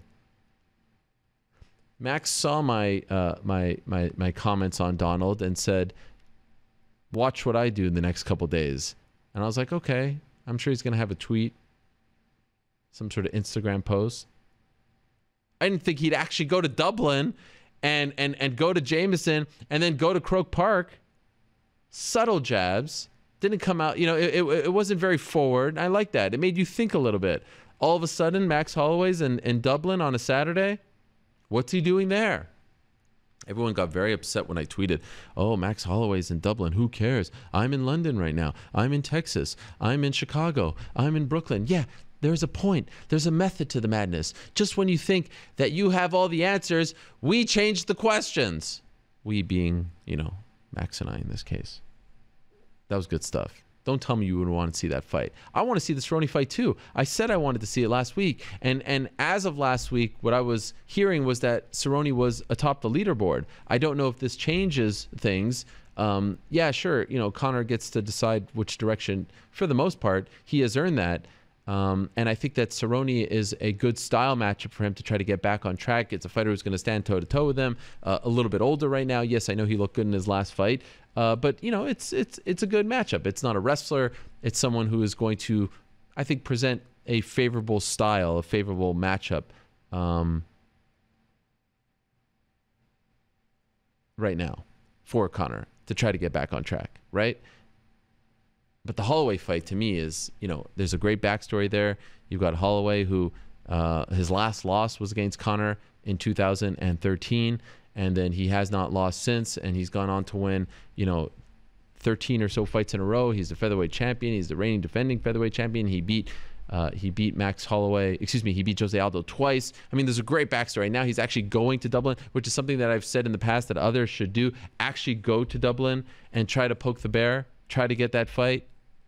I loved it. I thought it was a lot of fun. Again, I have no problem with the Cerrone fight. I, I, I think some people just because we put out you know the clip of of of you know the one minute or so clip of me talking about that didn't really understand that I'm giving Cerrone props here. Listen, you're the winningest fighter in UFC history. You just had a big win on ESPN. You headline one of the most watched prelims of the last 10 years. Yes, I know that Conor has a lot of power. I know he has a lot of influence. But this whole approach that, like, hey, you know, I'm just living in Conor's world. Oh, yeah, you know, like, I, I just want the opportunity. I just want the lottery ticket. I just think that's a tough, that's a tough, you know, narrative to get behind. In fighting, what do we like? We like we like there to be some conflict and we want to see it get resolved. I don't think we want, you know, we, we want buddies coming together, glory. Hey, let's have a toast afterwards. Eh, it's kind of, I'm not saying we have to go all the way into the Khabib territory. It has to be as toxic as that, as personal as that, as dark as that. I'm not saying that. And I'm not saying to fabricate anything, but we heard you 3 years ago talking about Conor. What what has changed? Is it just because you're a father now and you want money? Okay, fine more power to you. But I'm allowed to weigh in on that. I'm allowed to tell you that I feel like it, it, it, it's hard to get up for that. It's hard to get excited about that. It just was a big shift from where we were just a couple of years ago. And you know, I know I know Cerrone's not the kind of guy to talk a lot of smack. I know he's not the kind of guy, you know, to you know, even with Alex Hernandez last week, he said I'm not that guy. And I think that's why a lot of people. One of the reasons why a lot of people like Donald Cerrone, I, I do believe. I, I don't just think. I do believe that that is one of the main reasons why people like Cerrone. He he he doesn't really talk the talk in the sense that he doesn't need to talk the talk. He's not one to try to play mind games and talk trash and whatnot but he certainly walks the walk. He always comes. There's never been a boring Donald Cerrone fight. The fights that he's won, the fights that he's lost. There's never been a boring one, and he's the perfect foil for Conor as far as opponents go, as far as styles go. Hundred percent, no doubt about that. But it, it just kind of rubbed me the wrong way to hear him be like, so, aw, shucks, I'd love, you know, I just, I'd love the opportunity to test myself against him. When you have all these people gunning for him, when you have all these people calling him out, when he hasn't won in two and a half years, you know, I just want, I, you know, it's just, I'm just living in Conor's world. I just, I'd love that shot. I don't know. Kind of, I kind of felt like it was weird. And again, as I try to reiterate afterwards, it's not because I don't think he's good or respect him or like watching him fight. I think it's amazing what he's done, especially as of late. It just caught me by surprise.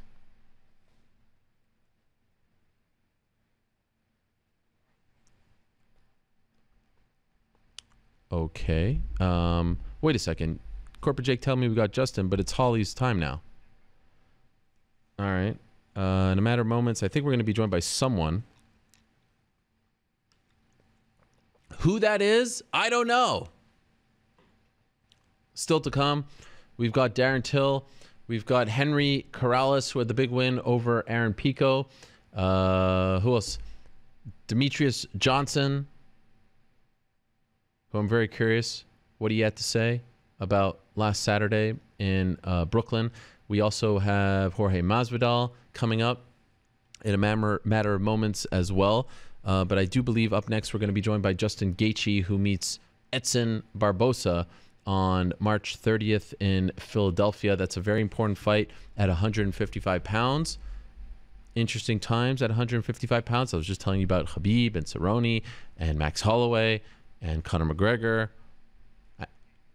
I know Gaethje was frustrated with the way things were going. So let us talk to Justin Gaethje, who I do believe is standing by right now on the phone. Justin, how are you? I'm good. What's up, Ariel? It's it's good to talk to you. I thought that you forgot about me. I was a little bit sad there for a second. Hey, you're Mr. Big Time now. You gotta. We have to wait till we get the call from you to be be on here. Oh no, not at all. Uh, I'm just living in your world, Justin. Sort of like Cerrone living in Conor's world. Uh, I'm just living in yours. It's great to talk to you, though.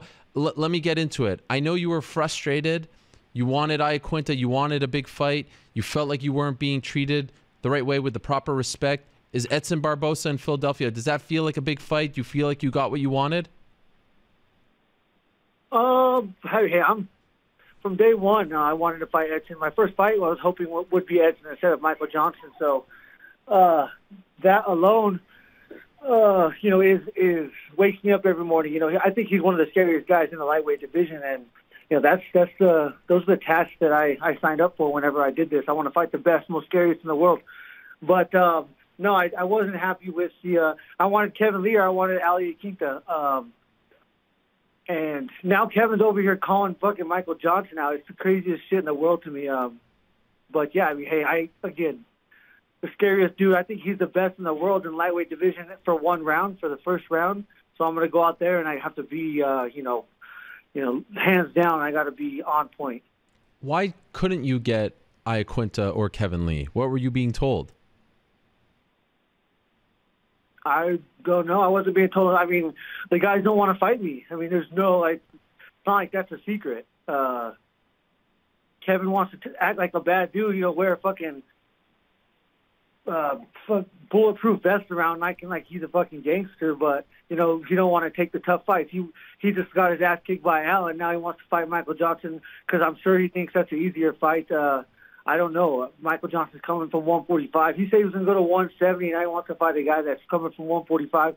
Yeah, a lot of this does not make sense to me, but you know, my mindset I I know is different than Al, and I know it's different than Kevin, and so um, you know, I can't I can't fathom why their mind works like this. But um, I'm going to go out there and again, the scariest dude in the world for one for one round, and that's who I'm fighting next. Yeah, and and I, I, I, obviously you just said that you were you know very interested in fighting Edson for a long time. He's coming off a nice win. He's back on track. So this and they're giving you a main event. So do you feel like you're getting the respect from the UFC because and and correct me if you feel like I'm misconstruing your words, but I I, I read a story that you did. I think it was with Brett Okamoto at at ESPN.com where you said that you felt like you weren't getting that kind of respect, that you weren't getting the big opportunities. Does this feel like a big opportunity? No. I mean, I mean, at the end of the day, it sounds like a little bitch when all that comes out of my mouth because I mean, I'm getting uh, this is four out of you know four out of five fights that I've been main event. Yeah. Um, you know, uh, there's a reason for that, and um, you know, uh, I would like to be compensated more fairly for those last two rounds. That's my only argument when it comes to fighting a main event. But that's not something that, uh, you know, that's only one percent of people or 0.1 percent of people are going to complain about something like that, which is myself because they, I keep getting these main events. You know, I'm not asking for them. Um, I love being there. I love being the last fight of the night. I love being the highlight of the night. I love, you know, being the main the main billing on a fight card in the UFC. It's, you know, I love my picture being on the poster. All those things are are what I love. But those two rounds, especially for someone like myself, are the most dangerous rounds that there are. If I do pass away or suffer a serious injury, it will probably lead or come in the fourth or fifth round. And so uh, that's my only complaint when it comes to that. But again, I mean, that's um, a small complaint because uh, I am getting main event on ESPN. The eyeballs are going to be tremendous, and uh, it's going to be great. But I couldn't agree more with you. I, I do feel, but don't don't you get 25k more if you're in the main event? Are you saying that you want that you feel like you have yeah, I'm saying that's that? not nearly enough, Yep. Ariel. Yep, I agree. I I couldn't mean, agree more. granted, granted, I sound like a spoiled little brat when No, I say twenty five thousand dollars is enough, but it's not enough, especially when I'm, you know, if who knows what I get paid? I don't even want to say, but let's say it's a hundred and a hundred, and that's you know a hundred and a hundred for the first three rounds, and then I'm getting paid twenty five for the most crucial, most devastating to my health rounds that there are, and that's rounds four and five. Yeah. No, I couldn't agree more. So have you actually made this request? And if so, what do they say when you ask this? Hey, I'm here. I need to go out and shut up. I need to go out there and whoop Edson's ass so I have, you know, more leverage. That's the name of the game. I mean, we, you know, our uh, we fall back on ourselves. We don't necessarily have the representation that we need, so we got to represent ourselves. You got to go to fight. You got to go to war for yourself. Whenever, um, when principles come come to the forefront, uh, I go to war for myself, and um, so I'm going to go out there. I'm going to try my hardest. I'm going to be ultimately 100% prepared for Edson, and then after that, uh, you know, it's it's down to business. Because again, I have to fight for myself. How many fights you have left? I don't know. I'm, I'm I'll sign a different contract after this fight. Oh, really? Have you been told that, or is that just the plan in your mind? No, that's just what I'm saying. Yeah, because you deserve it. I've Right. been told it. Oh, okay. Okay, that's good. Um, and okay, so four is, is, is this is different. I feel like than what I've heard from you in the past. Are you starting to think more about your long term health? Is that why the extra two rounds are kind of, you know, are are, are a bigger deal to you now? Do you feel like, yeah, I, you do admit that you do take, you know, a, a, certain amount of damage? That's your style. You're okay with that? You sign up I'm for that? Saying, I would say I would put it more on a broad perspective of if a fighter is going to suffer a serious injury, it will probably be more than likely come later in the fight, which, you know, after round three comes four and five, and most people aren't doing that. So it's not even a circumstance, but for me it is. Uh-huh. So yeah, I just, I need to uh, address it. Okay. Um, Barboza is coming on that same card that Iaquinta fought uh, Kevin Lee. Looked very good against Dan Hooker but of course fought a very different opponent than he did in his previous two fights, right? You know, fighting Kevin Lee, fighting Khabib, wrestlers who who were taking him down on the ground. Do you subscribe to the theory that oh, Edson is a different fighter, he's better now, he's improved, or do you just feel like that was a more favorable matchup and you know was he was able to showcase you know the kind of striker that he is against someone who's younger than him? Uh, I think at the end of the day, a fight's a fight. Um, there's no there's no way around that, and uh, Edson is one of the best in the world. He's had so many fights in the UFC versus some of you know, versus these top caliber guys in the world. Um, his experience alone um, can take him, you know, can can put him in fights that maybe he shouldn't be against, be in stylistically. But um, I think he, you know, he, he moved camps. I think uh, he's. I'm sure that he has a new. Uh, a newfound love, you know, for what he's doing. Um, probably more confident than he was after those two losses. A hell of a lot more confident than he was after those two losses. So, um, a fight's a fight. I have to go out there. I have to fight my best fight. I have to put pressure on him. Uh, I can't give him space. He's he's so dangerous whenever he's able to spin and and plant his feet. So I have to make it a point to not uh, not let him do that. And um, you know, I am a wrestler. Maybe I'll take him down. I have no idea, but I. Uh, I'm going to go out there. I, I def, you know, I'm not worried about my health, but I do want to be the best in the world, and I understand that I have to fight methodical in spots to do that you were supposed to fight Iaquinta in August. Now it seems like he's not all that interested in fighting you. Does this frustrate you? You know it does. You know it does. I, uh, man, I, I honestly don't have too much bad to say about Al. At the end of the day, I, it's such it's it's a business, and I understand you have to make the right decision for yourself.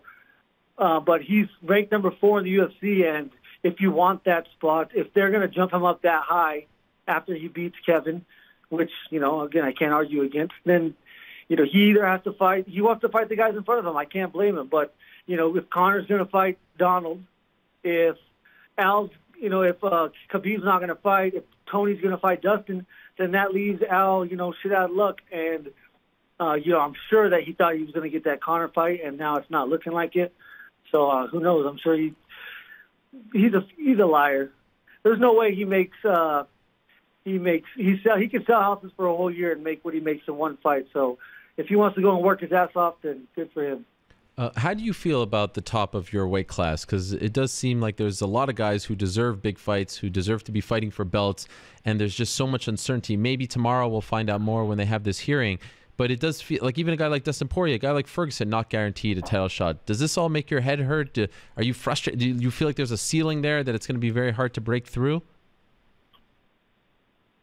Yeah, I think so. But you know, uh, again, with this sport, it's all about how you win, and the way if I do win, it's going to be spectacular. There's no other there's no other way to it. So that that does a lot for you. But I, you know, politics. I have a good manager, so uh, I can I can take that to the bank and to know that if I deserve uh, a fight, then I'm going to get it. Yeah. Um, well, by the way, what about your coach Trevor Wittman on the broadcast? Did you see that last week? I did. I loved it. I loved it. Yeah, he was great. A nice addition. Is that going to be? A, has he told you? Is that like a permanent thing? I don't know anything. Uh, I think, uh, yeah, I think it's it's moving that way. Okay, wow, good for him. That's great. Well, I don't, I have no idea for sure. Sure, sure, sure. Um, all right, well, this, fight, I mean, you versus Edson Barboza. I don't know if you've seen some of the reaction to it. Uh, the fans just foaming at the mouth when this fight was announced. So uh, I'm not really oh, sure. I'm foaming at the mouth. Yes. Uh, I'm not really sure what's at stake in this fight. I don't. I don't really know if you're fighting number one contender, all this stuff. But just from like a pure action standpoint, and I hate to say this, but I feel compelled to say it. I see no way that this fight is boring. You know, it's like one of the. I, I kind of feel like we say that about all of your fights, if I'm being honest, but this one in particular. I, yeah, I'm sure you could take that to the bank. no, for me, uh, this is big for me. Uh, I'm represent, you know, it's, it's stupid and corny. I'm representing the United States of America. I've always wanted to fight guys from different countries, and this is the best Brazil has to offer. I will be carrying the American flag with me to the cage, and after I knock them out, I'll be, I'll be, I'll have it wrapped around my shoulders because uh, that's what I got in this for is to uh, to be the best in the world, and that's that means being the best uh, from other countries. That's not something you typically do, right? I've never fought someone from a different country. Really? I only fought. Well, I guess I fought Palomino. Palomino, in yeah. WS, WSOF, but uh, he's lived in America for quite a while. Right. And other than that, it was all Americans? Yeah, I guess Pretty much. so. I mean, I fought Luis Firmino. He was Brazilian, but again, I was at a different. I was fighting for different reasons at that time in my life. Okay, what are you fighting for now? Well, I mean, again, uh, from day one, it was to be the best in the world. But you know, to be the best in the world, you have to be in the UFC. So my objective then was to not was to win convincingly and go to the UFC so that I have the chance to fight the best in the world from other countries. And Edson Barboza is the definition of that. Right. Well, I can't wait. March 30th, Philadelphia, Edson Barboza, Justin Gaethje. An incredible fight on paper, uh, and I don't think I've ever seen a dull Justin Gaethje fight. Uh, I, I'm confident saying this one won't be dull either. Justin, good to talk to you. I'm glad that we we tracked you down. You're welcome here anytime, just for the record. Yeah, I, I appreciate that. It's good to know. I didn't know. Uh, I didn't. I thought we had to call your secretary. You had to call her secretary. What are you talking- get a hold of. what do you say? You, are you saying I sold out, Justin? Is that what you're implying? No, no. I'm saying you got more. You got more followers than me, man. I, I, hey, Listen, I love what you do. listen. I love what you're doing. I love how you do it. I love you and Tail together. Thank I think you. Tail's a brilliant, a brilliant mind. Uh, Listen, I love hearing you. I just talk. had like a team of five people track you down for the last 30 minutes. We're chasing you, my man. I, I know. I was, I was in wrestling practice and I got a little distracted. I was getting my ass whooped to what was happening. That's all good. Well, I'm happy we spoke. Thanks for doing this, Justin. We'll talk to you soon. Yes, sir. Good luck to you. America. Yes. Later. There, there he is, Justin Gaethje. Uh, very excited to represent his country on March 30th. I'm looking forward to that. Now, a couple of weeks prior in Las Vegas, March 2nd, UFC 235. It's going to be Holly Holm against Aspen Ladd. Let us not keep her waiting any longer. Let's go to the magic of Skype and say hello to the preacher's daughter, Holly Holm. There she is. Hello, Holly. How are you? I'm good. How are you? I'm very sorry for keeping you waiting. Uh, you can blame Justin Gaethje No. for that, so I apologize. Okay. Gosh darn. I'm okay. All right, Holly. Well, we I have. needed the few minutes anyway. Okay, perfect. Well, it all worked out. Um, and we don't often get you on Skype, so this is very exciting as well. Thank you for doing this. Um, okay, Thank Holly. you. So we have a lot to talk about. You versus Aspen Ladd. When you got this fight, did you even know who Aspen Ladd was? Were you aware of what she had been doing thus far in the UFC? Uh, I had I had seen her last fight, and I mean I I'm really bad actually as far as following a lot of um the other fighters and everything, but I just because I get so into who I I'm facing at the time, but um yes I knew that she was coming in and kind of making you know making a little bit of of noise. Um, she's undefeated, and um, I think especially with her last fight being able to take on you know um, kind of a pioneer of the sport in a way and being able to finish it early, so. I know that I'm up against a really tough opponent. I think that undefeated and young fighters are the, um, I think they're the biggest uh, threat to take because they feel like they have everything ahead of them. They feel like their, you know, their destiny is in front of them. They're mentally strong. They haven't really faced like this hard, hard like loss yet and all that. So yeah, I definitely think this is a very tough fight. I, I'm not taking her lightly at all. Does it get you excited? You know, she's not the, she's not the biggest name. She's not a household name, but as you just mentioned, a tough fight, a tough opponent. Does it get you excited? Yeah, um, I'm just excited to fight. Period. You know, I'm I'm excited that I'm still at it, still in it, and I think that one of the biggest things for me is that I was, you know, I was the kind of young up and comer trying to ruin everybody's dreams along the way. So I understand where she's coming from. Um, it's just I want her to do that, just not with me. Yes. That's gonna happen later. Does it feel like the UFC is using you in that spot these days, like the Megan Anderson fight? Maybe try to build someone off you. Aspen Ladd build someone off you. Do you feel like they're trying to? That's not gonna happen. Okay, No, it didn't happen last time. Not going to happen this time. no. Okay. Absolutely not. You know, I feel like um, I know I had some losses on my uh, in my record here, but that's not. It wasn't like I was getting, you know, just like my butt handed to me in these fights. Yes, they they really irritate me and they make me mad and they're sore spots in my heart. But um, I know that I gave a hard fight for every fight that I've been in, and I just needed to make those changes to make it a definite win instead of, you know, it was close. I mean, there's a couple of fights people say, oh, it could have gone either way. I don't like that. I I want to be able to dominate, and I know that I'm still there, and I know that I'm still capable of beating all these girls. So that's where I'm at. That's why I train hard still. Um, I still know I have a lot to learn. I have a lot to show. Uh, to the best of my knowledge, you came out of that Megan Anderson fight in June relatively healthy. Uh, why did it take you so long? So by the time we fight, it'll be you know nine months since your last fight. Why so long to get another fight?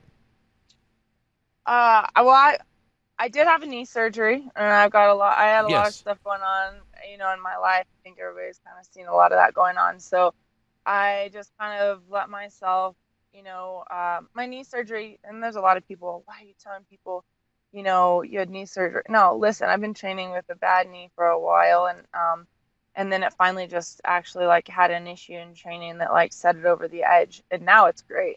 Okay. Um, I've actually had you know issues with it um, for quite some time, and I finally just got it fixed. So now it's now it's even stronger than it was before. So it's not something I'm worried about. People that know I had it. Hey, everybody, I had a knee surgery.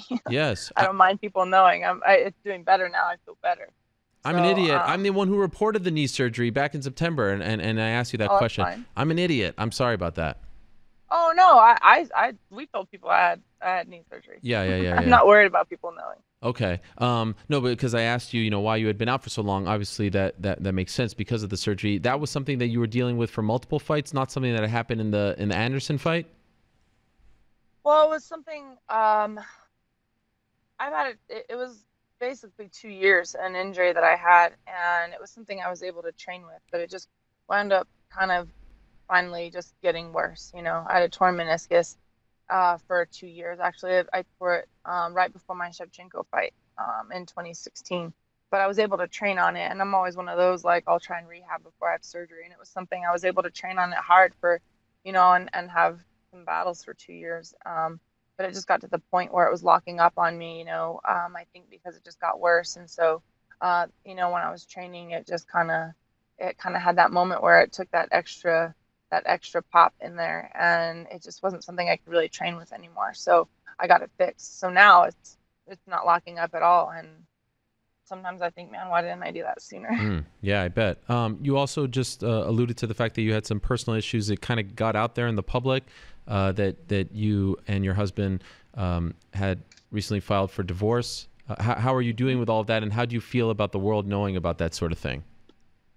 Um, well, honestly, uh, yeah, it's true. If it wasn't true, I would have gone on and said this is a bunch of BS. You know, um, it is true, and we knew that it was probably going to hit. Um, you know, we kind of actually we had we had kind of put in for it to be like a you know sealed case, just because you know I'm in the public eye, and my husband has a family business locally that is also in the you know a local business. So um, we actually put for if they wanted it to be sealed and they didn't so which is fine with me. I'm i'm one of those i've always been an open book. I'm not trying to go through my life acting like everything's perfect and i'm not trying to go through uh, pretending something's not going on when it is. And yes um you know now i and and there will maybe be a time i'll, I'll open up more about it later. I'm not really sure but um there's a there's a lot of things that I've been dealing with for for quite some time, for a very long time, and I'm free of it. So um, there's a lot of stuff that has happened, and, and you know, I can sit here and act very um, unfair about things, but I just trying to focus on things that I do have in my life and not things that I don't have. Um, there's been a lot of things I've um, I've really had to face, be just even to get to the point where we're at now, and then you know through this process, and you know, I I'm one of those that I don't like to carry hate in my heart ill will in my heart, none of that. Um, I think that's very different than having respect. There's, and you know, I I was one of those that really wanted to try and do this what they call collaboratively, mm. and I think that I don't really know which which divorce really can be that collaborative because if you can get along that well, maybe you wouldn't be getting divorced. But um, I have to say, I um, when I got married, I didn't get married to get divorced. That definitely was not. I mean, who does that? Right. Um, and there's a lot of things that I kept trying to almost convince myself was okay along the way until it just um, was too much after a while. And I know that a lot of people say that, oh, this just caught us off guard. This is some, I, I can't believe this. This is just out of the middle of nowhere. And I'm thinking this is not out of the middle of nowhere. Mm. this is definitely not out of the middle of nowhere. This is something that um, has been quite the struggle. And um, I still don't ever wish ill will on anybody because to me that's too heavy of a weight to, to carry on my shoulders. Um, and then that just it prevents me from uh, moving forward with my happiness and things like that.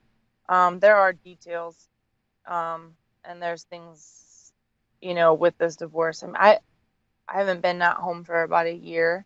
Um, a lot of people are just now, which I'm I'm glad that it wasn't something that just was like blasted out right away. And I don't really like to um, be the one to get on social media and just like blast out and, and have it as a I call it people's like um, personal journal, but they put it like for everybody else to read. And I definitely don't want to be immature about any of this. Um, however, there are things sometimes I feel like need to be said. Um, I don't know. Maybe there's other people that have been in my position, and um, but oh, if that time feels right, I will. I'll, maybe I'll tell more like actual details about it. But um, for right now, yes, the, the we filed for divorce, and um, I'm. I'll say this: I'm happy, and I know that I am still blessed in so many ways in my life, and I have so many opportunities in front of me, and that's what I'm going to stay focused on. Well, I'm happy to hear that you're happy that you're at peace with this. Um, do you feel different like as you're preparing because you just alluded to the fact that you had been dealing with you know a lot in your personal life as you're preparing for these fights there's a lot of stress i'm sure with preparing for fights you're emotional you're building to a fight there's anxiety but now you don't necessarily have to deal with all of that do you feel like this is even though we're in the early stages of the camp a different camp because of what's going on in your personal life or maybe what's not going on i should say yeah, I feel like there's a different stage of everything, you know. Um, my last fight with Megan, actually, I was already out of the house, so that okay. was something that I could just focus on. Right now, actually, probably a little bit more going on just because the actual filings and everything are taking place right now. Okay. Um, but I think that I've faced so many kind of things along the way um, I just need to be able to compartmentalize and move forward. And yes, there's there's a lot of uh, focus that I can have. I, I can just come to the gym, not not have other worries outside of the gym, and just be able to focus while I'm here and not have my mind wandering.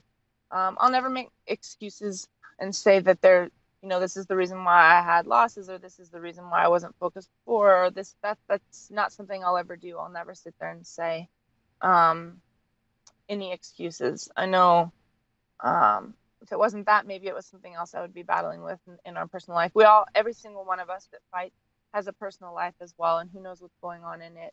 You know, I'm going going through a divorce, and you know, somebody else might be going through losing, you know, their mom from cancer, or somebody else might be going through, you know, maybe a loved one that is a drug addict, or maybe somebody, you know, um, there's a lot going on in people's lives. So I'm not going to sit here and say that, you know, I've had this hard go and all that definitely been a challenge of my life and definitely been something I've really learned from.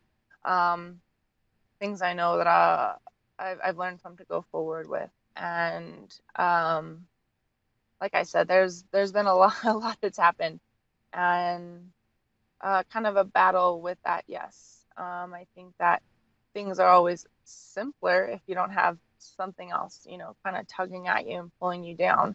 Uh, I think that you can be stronger when you have you know, that other support there. So I definitely feel like things could have been easier, but I'm not going to say that it was any reason why I didn't, you know, do well on my own. I, I, I, uh, my dad's always told me you're in charge in your, uh, you're in charge of your own happiness. You're in control of your own happiness. And with that, not meaning that, you know, you can't have days that are down. Of course, life's going to like give you something that's going to make it a little harder. Uh, and there's going to be challenges, but I don't want to be so down and so upset about this one thing uh, that this person can still control how I feel every day. If I wake up every day and have this like cloud over my head and I stay angry about it, um, that's controlling my happiness for the day. And I don't want that. I don't want someone to be in control of that. That doesn't mean that I haven't had some, you know, some hurdles to overcome and some struggles, but um, I I want to choose happiness. I want to choose.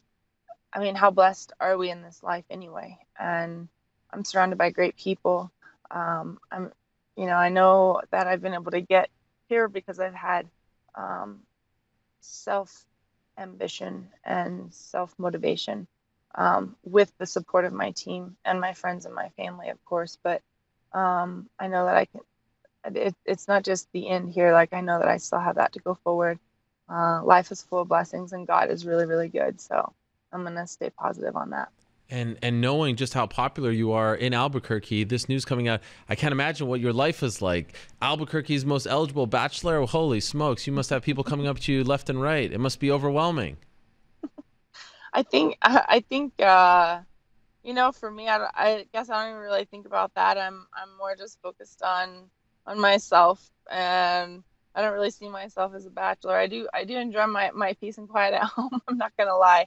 Um, but I think locally, I mean, my my husband's has a a family business that's very very successful here. You know, they they they do quite quite the business. I'll tell you that. Um, you know, they they are involved as well. So I think a lot of people, you know, not only know me but know the both of us. And because um, a very, I mean, they they make multi millions every year uh, with their company, and so they're very involved with Albuquerque as well. And Okay. I think it's definitely something that people feel. Um, you know, if a lot of people were we know each other through someone, so there's a lot of people that are kind of tied together on this. We have a we have a lot of mutual friends, um, and my I guess my biggest thing is I don't want any of them to feel ever stuck in the middle. I don't want to lose any friends that I've created through this relationship, and I don't want any of the friendships that he had to be severed either. It's not anybody else's fault that we didn't work out. Um, I want it to be as um, positive as as possible, but I mean, with that being said, maybe I'll open up more about you know actual stuff, but I don't really want to lay out all the dirty laundry. So. I feel you. I, I and I appreciate you being as open um, as as you just were. So thank you for for for talking about it even for a minute. Um, quickly, want to just get your thoughts on what Amanda Nunes did to Cris Cyborg. You fought Cris Cyborg for her to beat her like that that quickly. Were you shocked? I don't think anything shocks me. Uh, I was, I, I wouldn't have put the fight exactly that way.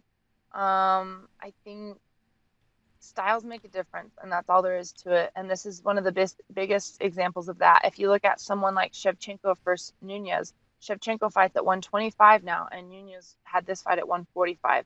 That's a big change. But the Shevchenko Nunes fight was closer. And that just shows how much a style can make a difference in a fight you know, you have two people that want to go in and slug it out, somebody's going to land a shot. You have someone trying to, you know, Shevchenko's more of maybe a counter puncher. So there's, she didn't necessarily come out with the win, but it just shows that styles make a difference and that, you know, uh, with the fight with Amanda and I, it'd be a whole different story as well. So I definitely know Amanda has knockout power. How many people has she finished with knockout power? We know that.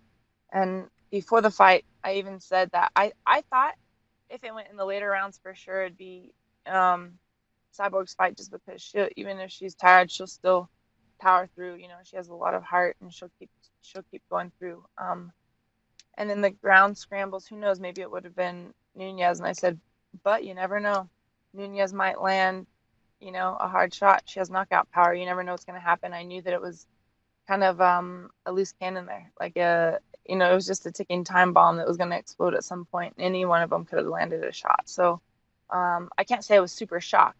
I say, wow, I, I didn't actually think it was really going to go that quickly in that way, but Hmm. I wasn't shocked by it. Would it be fair to say all goes well against Aspen Ladd? You want Amanda Nunes next at That 135? would be that would be very fair to say. Yes, at 135, right? 135, yeah. Okay. I think she kind of mentioned she wanted to go back to 135 anyway. I'm not Yeah. sure. Yeah. Um, is the UFC on board with this? Like, is this a number one contender fight on March 2nd?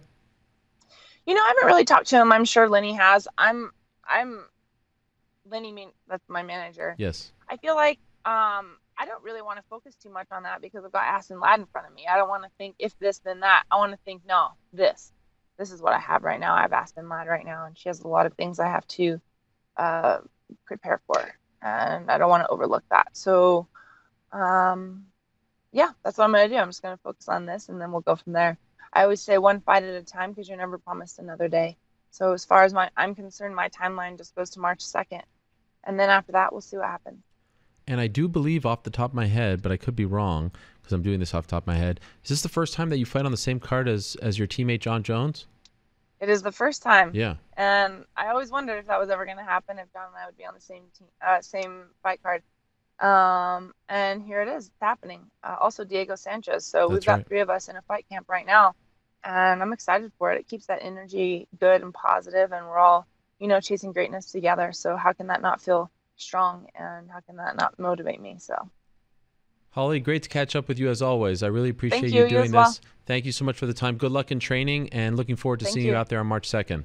all right, look forward to it. Thank you. There she is, the one and only Holly Holmes, stopping by. Big fight for her on March 2nd against Aspen Ladd, who has looked very good in the UFC, looked incredible in her last fight. She looks like young, sweet girl, but uh, she is an absolute beast in there, and uh, that is a very important fight at 135. And I wouldn't be surprised if the winner of the fight could very well be next in line for a title shot at 135. Nunes Holm is a fight that hasn't happened, um, and I know Holm has had her title shots in the past, but that is a fresh matchup and an interesting style matchup. I really appreciate uh, her opening up the way she did.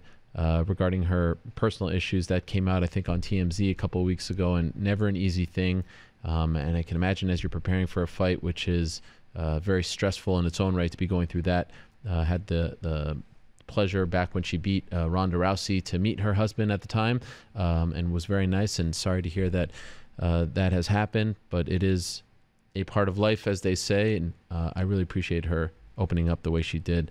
Um, it was, I think, for a lot of people, probably interesting to hear how someone in her position deals with something like that, especially living in the public eye. So, um, in a matter of moments, we are going to be joined, I do believe, by one Jorge Masvidal. He returns to action on March 16th. You'll recall the initial plan, it seemed to be, um, was for him to fight one Nick Diaz on March 2nd. That fight never materialized. In fact, Nick Diaz telling me that he never really was offered the fight. And, well, this seems to be a common theme uh, these days with the Diaz boys. And uh, we're not really sure where it all kind of breaks down in terms of communication. But in the end, that fight is not going to happen. And he is going to fight Darren Till on March 16th in London. That's a fight that you can see if you're living here in the United States on ESPN Plus. So it's Till's return fight. He's back in England, fighting in the main event. Big spot uh, for him. Course, had the title fight uh, against Tyron Woodley after he beat Wonderboy Thompson, who we spoke to last week in Liverpool. Now fighting in nearby London in the headliner.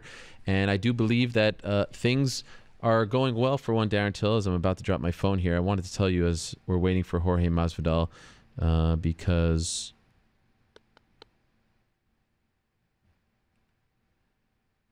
my friends were reminding me this. Um, tickets for the event go on general sale Friday at 10 a.m. GMT, which is uh, what is that? Uh, five hours ahead of us. So 5 a.m. here in the tri-state area via AXS and Ticketmaster. So that's this Friday at 10 a.m. GMT. That's where tickets uh, go on sale for the UFC's return to London. Also on that card is one Gunnar Nelson versus Leon Edwards. So that's an important fight as well at 170 pounds. Uh, main and co-main. So we'll talk to Jorge Masvidal in a matter of seconds here. If we can't get him on Skype, let's just do phone because I do believe that we are stressed uh, for time. And uh, then we'll go to Darren Till. We'll talk to Darren Till about his big uh, return fight. And then still to come, it's Demetrious Johnson. Talk to him about his one championship debut. And also talk to one Henry OK Corrales, who is the owner of one of the very best nicknames in all of mixed martial arts. OK Corrales, that's great. Speaking of the welterweight division, uh, Bellator announced on Saturday that Rory MacDonald will in fact defend his title in April, April 27th to be exact, against Jon Fitch. That's the Bellator 170 pound title. So uh, an important fight for them. And of course, Rory coming back after the loss to Gegard Mousasi. By the way, Gegard Mousasi versus Ryan Bader. I didn't ask Bader about this, but Mousasi versus Bader is a pretty damn awesome fight. Mousasi coming up, he's fought at 205 before. this has nothing to do with what I'm talking about right now, but that would be an amazing fight. And I feel like it's a fight that, you know, would be very competitive. But that's not happening. What is happening? Jorge Masvidal versus Darren Till, March 16th in London. Gamebred joins us on the phone right now. Jorge, how are you? I've been better, my brother. What's up? What's wrong? Man, I ain't ate food yet. I've been waiting for you since 2:45. I hope you had Bruce Lee on the show. That's why you you pushed me back so much because I know you had Bruce Lee on the show or something like that. Okay, my bad. I'm sorry. Well, someone was late and then it kind of uh, ruined everything for us. So I apologize for that, Jorge. I'll make this quick. Why? Why aren't Nah, you don't have to make it quick. You just got to buy me lunch when I'm in New York now. anytime for you? I'll buy you lunch anywhere in the world. I'll come to Florida tomorrow to buy you lunch uh, to apologize. Nah, that's okay, man. I'm not gonna wait for you, bro. But yeah, when I'm in New York, you got me. Okay. Um, why aren't you? To the best of your knowledge, why aren't you fighting Nick Diaz on March 2nd?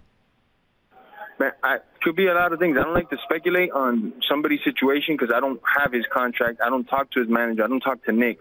But it could be numerous things. Maybe his fine that he has in California, after he's done paying that, he doesn't make a lot. Maybe the UFC doesn't want to cover that fine. Maybe, I don't know, maybe they told him something like it's happened to other people and then they didn't do it. I, I don't know. Maybe they offered him all the money he wanted and he still said no. It's many variables and factors. But really, the one that comes down to is I don't give a fuck. I got to fight, man. That's what I'm here for. You know, I, I don't even want to talk about that. That's so behind me. Okay. I'm in the future. I'm in the driver's seat, headed towards England, there until March 16th. You like this fight? I love this fight because it's a fight, man. I just wanted to fight. I was ready to take a fight in a week's notice. Somebody fell out from New York. Abe was calling me to ask me if I knew anybody. They wanted to fight a guy that had like two fights in the UFC, and I was like, you know what? No, they they'd uh they said that their Skype was down. Oh. Well, What? and uh, and I was ready to take the fight, but then I remembered New York has these weird no drug policy things. I was like, nah, I can't do that. Yeah. What? What? Can't What? do that. Why? Why? What? What was wrong? There was uh freaking THC in the system, buddy. I'm not Oh. getting suspended with THC in New York. I'm not. I'm not gonna give nobody my purse and suspend me because you know I'm I'm a natural type of guy and I freaking you know Yeah. No. No. I did No. some natural things. You know, you think it's right to get suspended for that? No. Because if I would have taken a week's notice, it would have showed up in the test. I remember when I fought in New York, I got I didn't smoke for maybe about a month. You know. Okay. Yeah. No. No. No. We don't want that. We don't want that. And it's not worth it. I mean, I know you were trying to save the day there and all, but like, what does that win No, really do no, I for you? wasn't trying to. No, no, no, no, no. No, here. I was about to say. Because at the end of the day, I like to fight. This is this is my enjoyment in life. This is one of the things that I, I get thrilled about. You know. Right. So I wasn't trying to save no days, man. Okay, fair enough. Um, I, I understand Darren, you know, sometimes has a hard time finding an opponent to fight him, especially in England. Um, I would imagine when they came to you with this opportunity, you were all over it. This is a big spot, right? Uh, we were we, we had to go back and forth for contracts and stuff like that. You know, 'Cause nobody's excited to fight in England. I think England's judging, man, it's just it's another world of bad, and I'm sure they're gonna crucify me for this, but uh, it's bad. I mean, Dan Henderson versus that one night dude. What happened there, bro? He beat the crap out of him, man. He went over there and beat the crap and knocked them down, wrestle fucked them, did everything that a man could do to another man to just get a five round decision. You know, he might have lost a round or two, but clearly Dan Henderson won and clearly he got ripped off bad. You know, it's Right. it's uh it's really home cooking decisions over there. I don't like that, but it's, isn't this a civilized sport? Isn't this we're sowing the future? Isn't this trained individuals watching what's going on, or is it just get a guy from Manchester City and get his cousin and get his sister, and then you know give the decision to the guy that is just from England that survived? It doesn't sound right to me, man. But I don't care. That's that. I I don't think about those things. Once I'll be in, I'll just be take his head off. You know. Uh, are you surprised that he's staying at 170 after all the troubles that he's had cutting down to welterweight? I don't. I mean, I don't know, bro. I don't know his current situation is, so I'm not surprised or, or anything. I just, I just hope he makes weight and he's a professional, you know. Because if you can't make 170, they've done it numerous times. Why, why are they keeping you at 70? You know, and when, when does it become a sport? Just because if you're a face of the sport, you get to miss weight. I don't get it. How does it work? You know, because I've never missed weight, and I used to cut probably just as much as weight as him, or more at 155. Because at 155, I'm a solid big dude, you know, and I would cut a lot of weight. And I tell you something, Eric, I signed on that paper saying I will make this weight, and I'm a man, and I go about my business and I get it done, you know. Yes. So it's uh, people need to step up to the plate. You say you're gonna do it, just do it, man. Especially that missing four or five pounds. Just let's just fight that fucking two. Okay, so so what happens if he? Have you thought about that? Is there like a plan in place if he misses the weight? What are you gonna do? Touching. so they're gonna pay you. They're gonna pay me no matter what. I gotta go over there, fight the judges, and tell they gotta pay me. Now, if he misses weight, we're talking about a different tax bracket. Okay, okay, all right. So you're going in there. You're you're public enemy number one over there. You're fighting everyone. I'm, that's always me, man. That's true. And you haven't fought in a long time. You miss it. Like by the time you actually fight, uh, it's going to be like a year and a half since your last fight. I know you were on that reality show, which your boy Yoel is on now. You see Yoel on there? He's kicking butt. Sure, man. Kicking butt, man. I mean, and those courses are not built for somebody that big. How do you know, game Gamebred? Because I was there 14 weeks doing them, and and I was having trouble with some of them because it's just like they're built more for the smaller parkour dudes that are little rats, cockroaches getting into these obstacle courses. I can't even imagine how much Joel's suffering in there, you know. And he's still doing great, man. It's incredible. Yeah, his son. I mean, and he's probably one of the older ones, I would imagine, on the show as well. No, he, he is the oldest one. He's Papa Smurf. He's 41 years old, doing the damn thing. Um, but as far as fighting is concerned, how much did you miss actually fighting? And now we're, we're looking at the El Muerte, by the way. You could have seen this if you were on via Skype. We just saw the El Muerte, Jorge. I'm trying to make it famous over Yeah. here. Yo, shit. Well, I'm I'm here logged on to the Skype to the the American Top Team account, uh. John, and, and you guys couldn't call me, man. I don't know. I was ready fine. to roll. It's okay. It's okay. I appreciate you making the effort. Um, but but as far as like the the length of time since you fought, do you feel like you're you're a little rusty? Like do you feel like you're back in the swing of things? You're still getting, you know, you're you're still getting warmed up again, cutting some weight. How, how do we feel mentally as as the fight is approaching in a month and a half? Mentally, I feel better than I have in a really really long time. You know, maybe the the freshness. Hey, I'm doing an interview right now. I'm kind of busy, and uh, and things like that. I feel great, man. Yo, I said I'm busy. No, I'm, uh, Richie. Do you know Richie Puma Ariel Helwani? He's trying to get on the show, man. Wow. Uh, Ariel Helwani, you might have heard of him. ESPN. Yes. I've never heard of it. Never heard of him? Okay. Well, give me a second. sir. Stephen A. Smith. That's the thing when you do interviews at Top Team, you don't know who's gonna just rattle through the door, guns No, that's blazing. all right my book. What's It's- up, Ariel? Hello. How are you, Richie? Excellent. How about yourself? Oh, I'm doing well, thanks. It's good to hear from you. We're What? talking to Jorge. Oh, must be a slow news day. Oh. Hey, don't start doing what you doing, my brother. All right, give me a second there, bud. You got three minutes to say it. Wow. Fucking awesome. You know, when Colby's on the show, he they give him like an office all by himself. He has a whole nice setup. You don't get the same treatment. It's uh, there's some racism going on. Maybe you know they don't like the, the olive colored dudes or something. I don't know, bro. Okay. Um, but you you said it's it's been a while since you felt this good mentally. Why? Well, I had the start of the last year. I had a couple injuries. I nursed them out, did a little bit of rehab. I didn't want to go under the knife. I'll tell you what.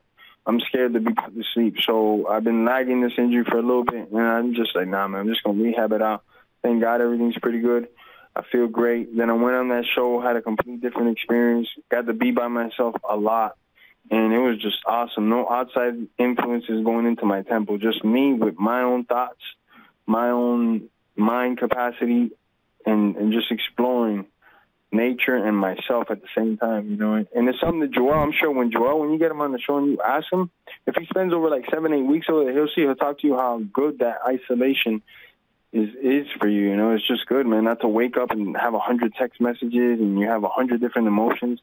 Fuck all that, man. I can't wait to go back into seclusion and tell you the truth. Wow. When are you gonna go back? Right after this fight, I'll disappear, man. Or actually, before the fight, I'll be in, in a little bit of a, you know, can't kind of find me stuff, you know, from everything from debt collectors to Hmm. stalker chicks, things like that. I got to go under the radar. I got to disappear, bro. What? Everyone's hitting you up. Stalkers, debt collectors. This is this is very stressful as you're preparing for a big fight. Especially in the land community, people see me on TV and they think they have this conception that I'm rich. Those are just rumors, man. you know, everybody, everybody's hitting me up. Hey, I lend you twenty seven dollars back in sixth grade. What's up?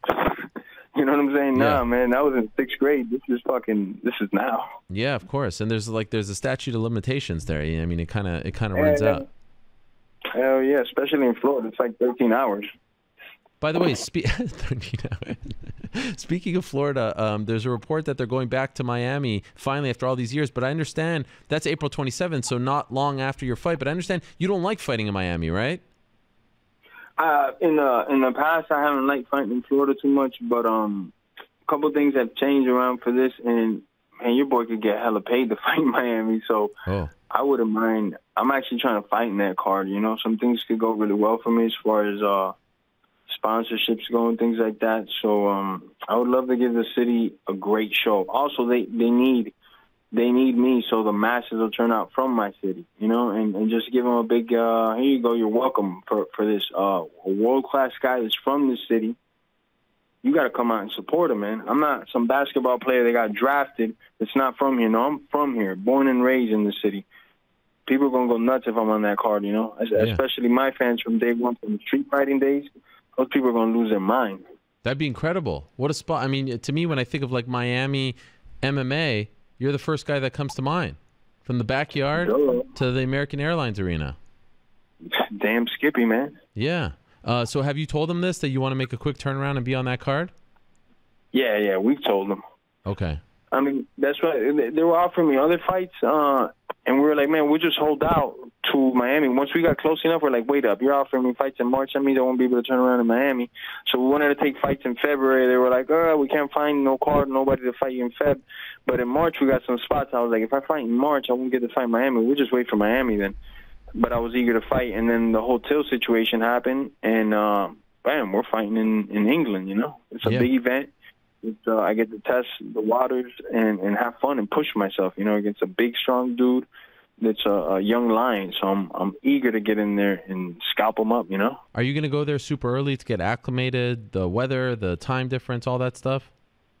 I don't know about all that, man. I just I just go with the universal flow. I might show up a couple of days before. I might show up ten days before. I don't know. I haven't I haven't thought that far yet. Okay. And I, I think this is the first time you fight in, in Europe, right? Yeah, first time I fight in England, not in Europe. I, I'm, is Russia considered Europe? Yeah, it is. Oh, yeah. Back in the day, you fought there, right? Um, for Bodog, Saint Saint Petersburg, buddy. St. Petersburg. Yeah, that's a big. That's a big city there. Um, but but never in England. Man, that's crazy. No, never in England. All I've only been on mail in England. 45 fights you've had, and you've only fought in Europe once. Yes, sir. I'm a little surprised. I mean, I don't know. I, I fight in Asia a lot though, so That's I right. Like that. Um, I don't want to keep you uh, uh, hanging around too long because I know that you're hungry. What are we having for lunch, Nah, Jorge? I don't even worry. You know, I was just messing with you earlier. Okay, I got really afraid. I was afraid. I was like, man, did I piss off Jorge? I mean, I feel like we're cool. I got really worried. I got a lot of other people mad at me these days. I don't know if you know You know, you this. can pick me off, man. This is a long time bond, bro. Yeah, but you know, you know, if you see Michael Bisping out there, now we got a problem. Are we still I, I don't holding? want no problem. We're still holding on to this this beef with you and Bisping, huh?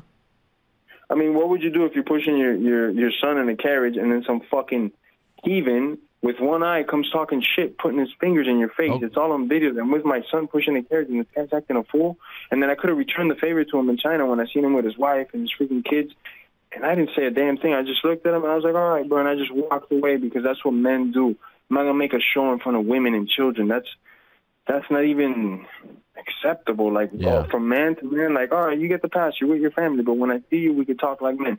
But he didn't do that for for for me, you know. So for indefinitely, when I see that guy, I'm gonna make his life uncomfortable, you know. And and that's the end of it, you know. That's that's how it is, man. I, I don't know where he was raised. Maybe he was raised by fucking I don't know somebody with no uh no etiquette. Like, bro, you you you can't even even the dumbest of people know, like, man, if you see somebody with their family, leave him alone, bro. Come back another day. The guy's an idiot. He, there's a reason he has one eye. Well, luckily for all involved, next is Darren Till, March 16th, London. Tickets go on sale this Friday at 10 a.m. local time. I'm looking forward to it, Jorge. Big fight for you. I know you didn't get the Nick Diaz fight. I would argue potentially bigger, especially when you consider uh, the location as well. Great to catch up with you, Jorge. Thank you for doing this. No, no problem, man. Thank you for having me on the show, man. Okay. So there's Jorge Masvidal. Now let's talk to the man that he'll be facing on March 16th, Darren Till. Okay, we're not talking to Darren Till. We'll be talking to him in a matter of seconds here. Um, this is uh, he's going to be joining us. He is the other part of that equation on March 16th in London. Uh, the return of one Darren Till, who of course fought in Liverpool. What a scene that was! And now I think we do have him. Do we not have him? Okay, I'm getting mixed messages here uh, from the team in the back. It is total chaos back there, but I'm doing well over here, just to let you know. Um, Till fought Wonder Boy, came back, fought uh, Tyron Woodley, lost that fight, and then now is returning to action. And you'll recall that I spoke to him not that long ago, and he said that he was, you know, there was a report that came out that said that he wanted to fight at 185, um, and then he came on the show. We spoke to him, and he said that now he was reconsidering 185. He was going to stay at 170. He's had his issues in the past making 170, and in the end, he stays at 170. How about that? Bit of a surprise. I thought maybe he would uh, return at 185. Also became a father once again recently, uh, and uh, there was a while. I even talked to him about this the last time we spoke. There was a while that he was uh, quiet on Twitter and social media, but uh, not this past weekend. This past weekend was very entertaining. I thought. Um, so I think in a matter of seconds we'll be joined by Darren Till. After that, we'll talk to Henry Corrales and then Demetrious Johnson. Darren, are you there? You know what time it is? I know what time. There he is, Darren Till. Great to talk to you, my friend, and th- and thanks for your patience as we were trying to sort all that out. How are you doing, Darren? I'm good. Just finished training, mate. Feeling very good. Darren, uh, when I said to people that you were going to be on the show today, uh, the number what, do you think the number one question was? I don't know. Uh, they, they, were asking me, what were you on about this past weekend on Twitter? It seemed like you were going in a million different directions, talking about a lot of different people. Where was that coming from? You know what I'm like, Ariel? I don't tweet a lot, but when I tweet, yes. I go full full ammo. what was going on? Why were you so riled up? I just, you know, it, it's just good. People love it, Ariel. People love the smack talk. They do love the smack talk. It seemed like. All right. By the way, are you driving right now? No, I'm I'm banding. Ariel got my man driving. Okay, good. I was worried there for your safety. I don't want you to drive and talk to me at the same time. You know. I don't know if you know this, Darren, but we have a fight to headline on March 16th. Tickets go on sale this Friday. You know what time it is, Ariel? Sell out in, in minutes. Yeah, is that what you were expecting? Yeah, hopefully that that's that you know it just shows if, if people if it sells out quick, people definitely are interested in. I think the whole card's great. I think, I think the main event, the co-main, I think, um, you know, the whole main card, the prelims. I think, I think it's one of the best events London's ever had. So you know, very good. Uh, last time I spoke to you, Darren, you talked about weighing your options. Am I going to try 185 or am I going to stay at 170? In the end, why did you choose 170? Just because I think I've still got some unfinished business left at 170. There's a lot of fights I want, and you know I did make the cut last time. There was no problems. I made 169, so why why not? Like you know, why not stay there? So we'll, we'll see, mate. You know, I, have got some unfinished business. I don't want to, you know, go up to 185 and leave some unfinished names to get dealt with. So you know. At some point in the future, is that something you want to try? Yeah, definitely. You know, everybody knows I love eating cakes and pies, so I'm definitely going to 185 soon. Okay, um, soon. So, so it's in the near future. Yeah, of course. Okay. Did they even talk to you about that? Did they offer you 185 for this for this card? They just they. I didn't really speak to them, Ariel. They spoke to my uh, my coach, and my coach was just like, you know, we, we can do whatever, and and, and, and the, the decision was made to stay at 170, and and, and obviously now we, we've got an opponent, you know, Masvidal. Okay. Uh, what did you make of that opponent? Because I know there were a lot of people that, you know, who are at your disposal, um, a lot of names that you could potentially fight. They end up with Jorge Masvidal. Was that a matchup that you liked? Yeah, because I called Masvidal out for UFC Liverpool. So he called me for London. So I accepted, and, and, and here we are fighting each other. Now, what's happening between you? Can we talk about it, Ben Askren? Because I find that your back and forth is very entertaining. I must say. Uh, what is happening? What is the, the the crux of the issue here? There's no issue. Ben's, Ben's a prick. I'm not, and that's it. okay. Is this someone that you would like to fight before you move up to 185? Yeah, listen, yeah, of course. I'm not scared of Ben at all. Ben's. I remember years ago when, when I when, when I was in Brazil and my wrestling coach Tim, he, yeah, there it is, David. Left here. Just drive on, just keep driving. I remember when my wrestling coach Tim used to talk about Ben all the time and, and, and big him up. And so I've known about Ben for years. And, you know, Ben come to the UFC and talking shit to everyone, and a lot of people didn't respond. So, you know, who am I not to respond to Ben and, and, and, and talk some shit? He, the thing is, Ben doesn't know how to take me because he tries to be all intelligent, and I just I just saw all bullshit. and he just, you know, he doesn't know how to react to that. So it is what it is, mate. I like it. You're the only one who actually responded to him. In the end, he doesn't end up fighting you. I, I thought it would have been a fun fight. He ends up fighting the one guy who didn't, uh, you know, really get any trash talk from him, Robbie Lawler. But uh, nevertheless, you have Masvidal. But you did say also, and I just want to confirm this with you, RDA, Ponzinibbio, they were both offered you, and and and you're saying they said no.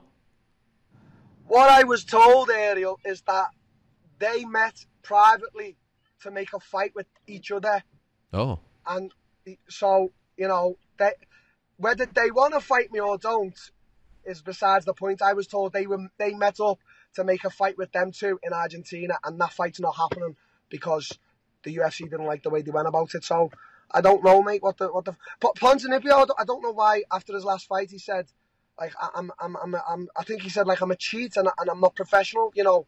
So I don't know why he said that because okay, I miss weight and, and- I've, I've I've talked about that. I've said it to my fault, but why would he why would he come out and say he doesn't want to fight me because I'm not professional?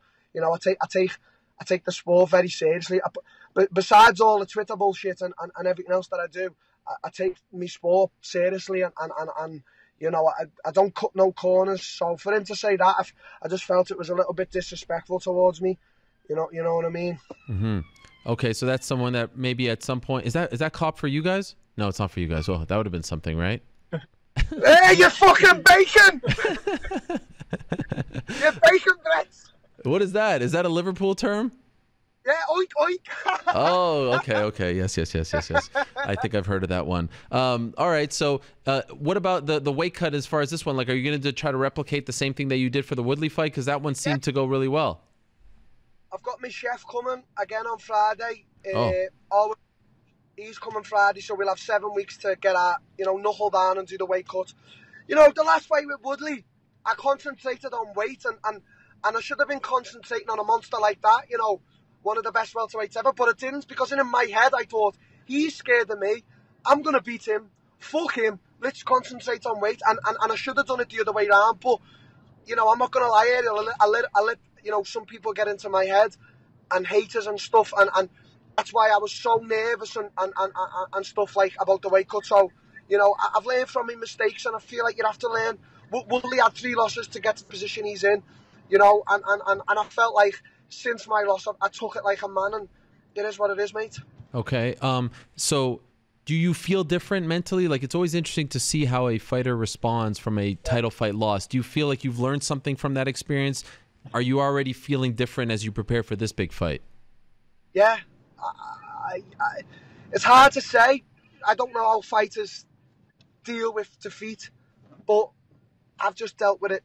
I, I know where I went wrong, Hmm. and, and I know that it wasn't through my mistakes on that night. I know that the better man still won.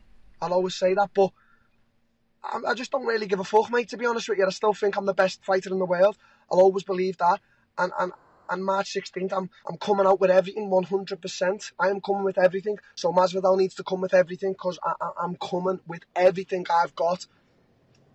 And when you say that you let some people get you, do you mean the fans, the the the, the people Just, online? There's people, there's people who get in, in your ear and and, and, and, and you know, yeah, obviously, you know, people on online and, and just, you know, just the constant questions of weight cutting. Yeah. The, the, the last fight wasn't about the fight. It was about like when I made. I think there was more people there to watch me make weight than there was in the fucking arena. so that's what I mean, Ariel. Do you know what I mean? I, you know, I'm not going to sit here and say, yeah, I'm, I'm the mentally most strong person in the world with stuff.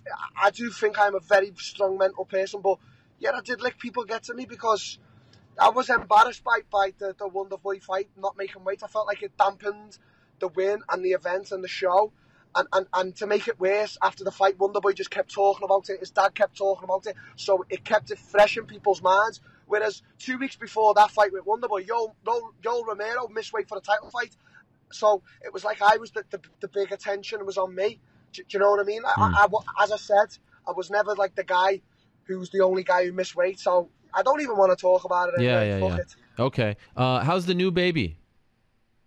She's good. She's mate. She's very good. She's like a little King Edward's potato. She's like a little potato. How's so this- people keep people keep coming up to me in the street and saying she looks like you, and I'm thinking, you know, I'm just like, You know, she looks like a fucking potato. She doesn't look like anyone. How's the sleeping though? it's, it's good, mate. I got a props to me, uh, my girlfriend. She's she's uh, she's being a soldier. She's uh, you know, she lets me get me sleep while you know waking up for training, and you know, I, you know, I do my shifts with her. But you know, props to my girlfriend, mate. She's she's she's been a star. Uh, I think a lot of people thought that on Saturday when you were tweeting all that stuff that you were up feeding her. Is that what was happening? I'm not prepared to say. Or- just just clarify though, I was not drunk. Okay. Oh, really? Okay. Fair enough. Um, al- also, people think that. Sorry, mate. no. Go ahead. Go ahead. People just think that every time Till's on Twitter, he's had a drink. Not true. Okay. Uh, Eddie Hearn also was uh, feeling your wrath as well. I saw that one. What's what's your beef with Eddie Hearn? I just listen, mate. I'm no one. I'm no one. But every time I see an interview with Eddie Hearn and Joshua, the only thing I hear coming out of their mouths is money and business. Hmm. Whereas when you look at interviews like with Mike Tyson and Fury and, and, and people like that, there was never any talk about business. Like me here, like you know, I don't think about the paychecks and who's the A sides or whatever until after the fight. I, I just want to fight, and then after my fight, you know, appreciate the money and stuff like that. Like, yeah, I do understand business, and, and, and, and Joshua definitely should be getting the most money. He's the biggest star in the world, but every fucking interview, it's business, business, business, money, money, money. We've offered this, we've offered that. Just let's fucking let them fight. Just, Yeah. Just shut the fuck up. Okay. Fair enough. Yeah. The fans don't want to hear that stuff, right? I don't, and I'm a fan Right. of, of the heavyweights right now, so I'm a fan, and, and I'm just sick of hearing 60 40 splits. I couldn't agree more. I think you speak for all of us, or at least the majority of us. Well, this is a lot of fun. Ge- yes, go ahead. I speak from the heart, Ariel, whether you like me or not. That's right. I always heart. And you know what I love? You and Mike Perry once had that little issue in Poland. Now I see you guys DMing each other. You're giving each other nice messages, pleasantries. The the the budding friendship between you and Mike Perry, even, even like past what happened in LA with the whole spa thing, like that the fact that this is still going, it warms my heart. You two are great together. Listen, Ariel, right? I've got beef with everyone in that welterweight division, but that does not mean that I do not respect them as fighters because they all have families, they all have bills to pay. So, as fighters, I respect them. But if they say fuck me, I say fuck you. And if they want to fight, I say let's fight. I, I, so, you know, it, that, that's just that, that's just how I, I go with go about fighting. I, I, I, I think that's why fans love you. And Masvidal is that kind of guy as well. I, I feel like you're from very different neighborhoods, you're from very different worlds, but at your core, very similar. No nonsense. You respect me, I respect you. You don't respect me, I don't respect you. I think Masvidal probably comes from a lot worse a place uh, in, in Cuba. Is Masvidal from Cuba, right? Yeah, Yeah, originally, yes. yeah. I don't know the background, but you know he's he's been through it all. So it, it is what it is, mate. You know, let, I just want to fucking punch a hole in his face, and he probably doesn't want us. He wants to do the same. So we'll see. Darren, I'm looking forward to it. Welcome back. It's good to have you back in the mix. March 16th, London, England. The return of Darren Till against one Jorge Masvidal. What a great fight. Can't wait for I it. I just want to give a shout out Please. to to, to my coach Ariel because he, he's he is the best coach on this planet and, and, and everything he does for me is from the heart. He doesn't care about money, he doesn't care about anything. He, he, he's the best person in the world and I, I want him to know that. And is that your coach, Colin? Colin, he, he- there's there's not a man alive like him. Wow. Okay. Um, and, and, and, and speaking of your team, let's get Mike Grundy on that card. Is that going to happen? We'll see, mate. We'll see. Oh, wait, you know something? What do you know, Darren? What's that smile say? I what's that? I, I know a lot of things, Ariel. Well, th- th- that seems promising at least. That's maybe they'll maybe they'll announce it this week.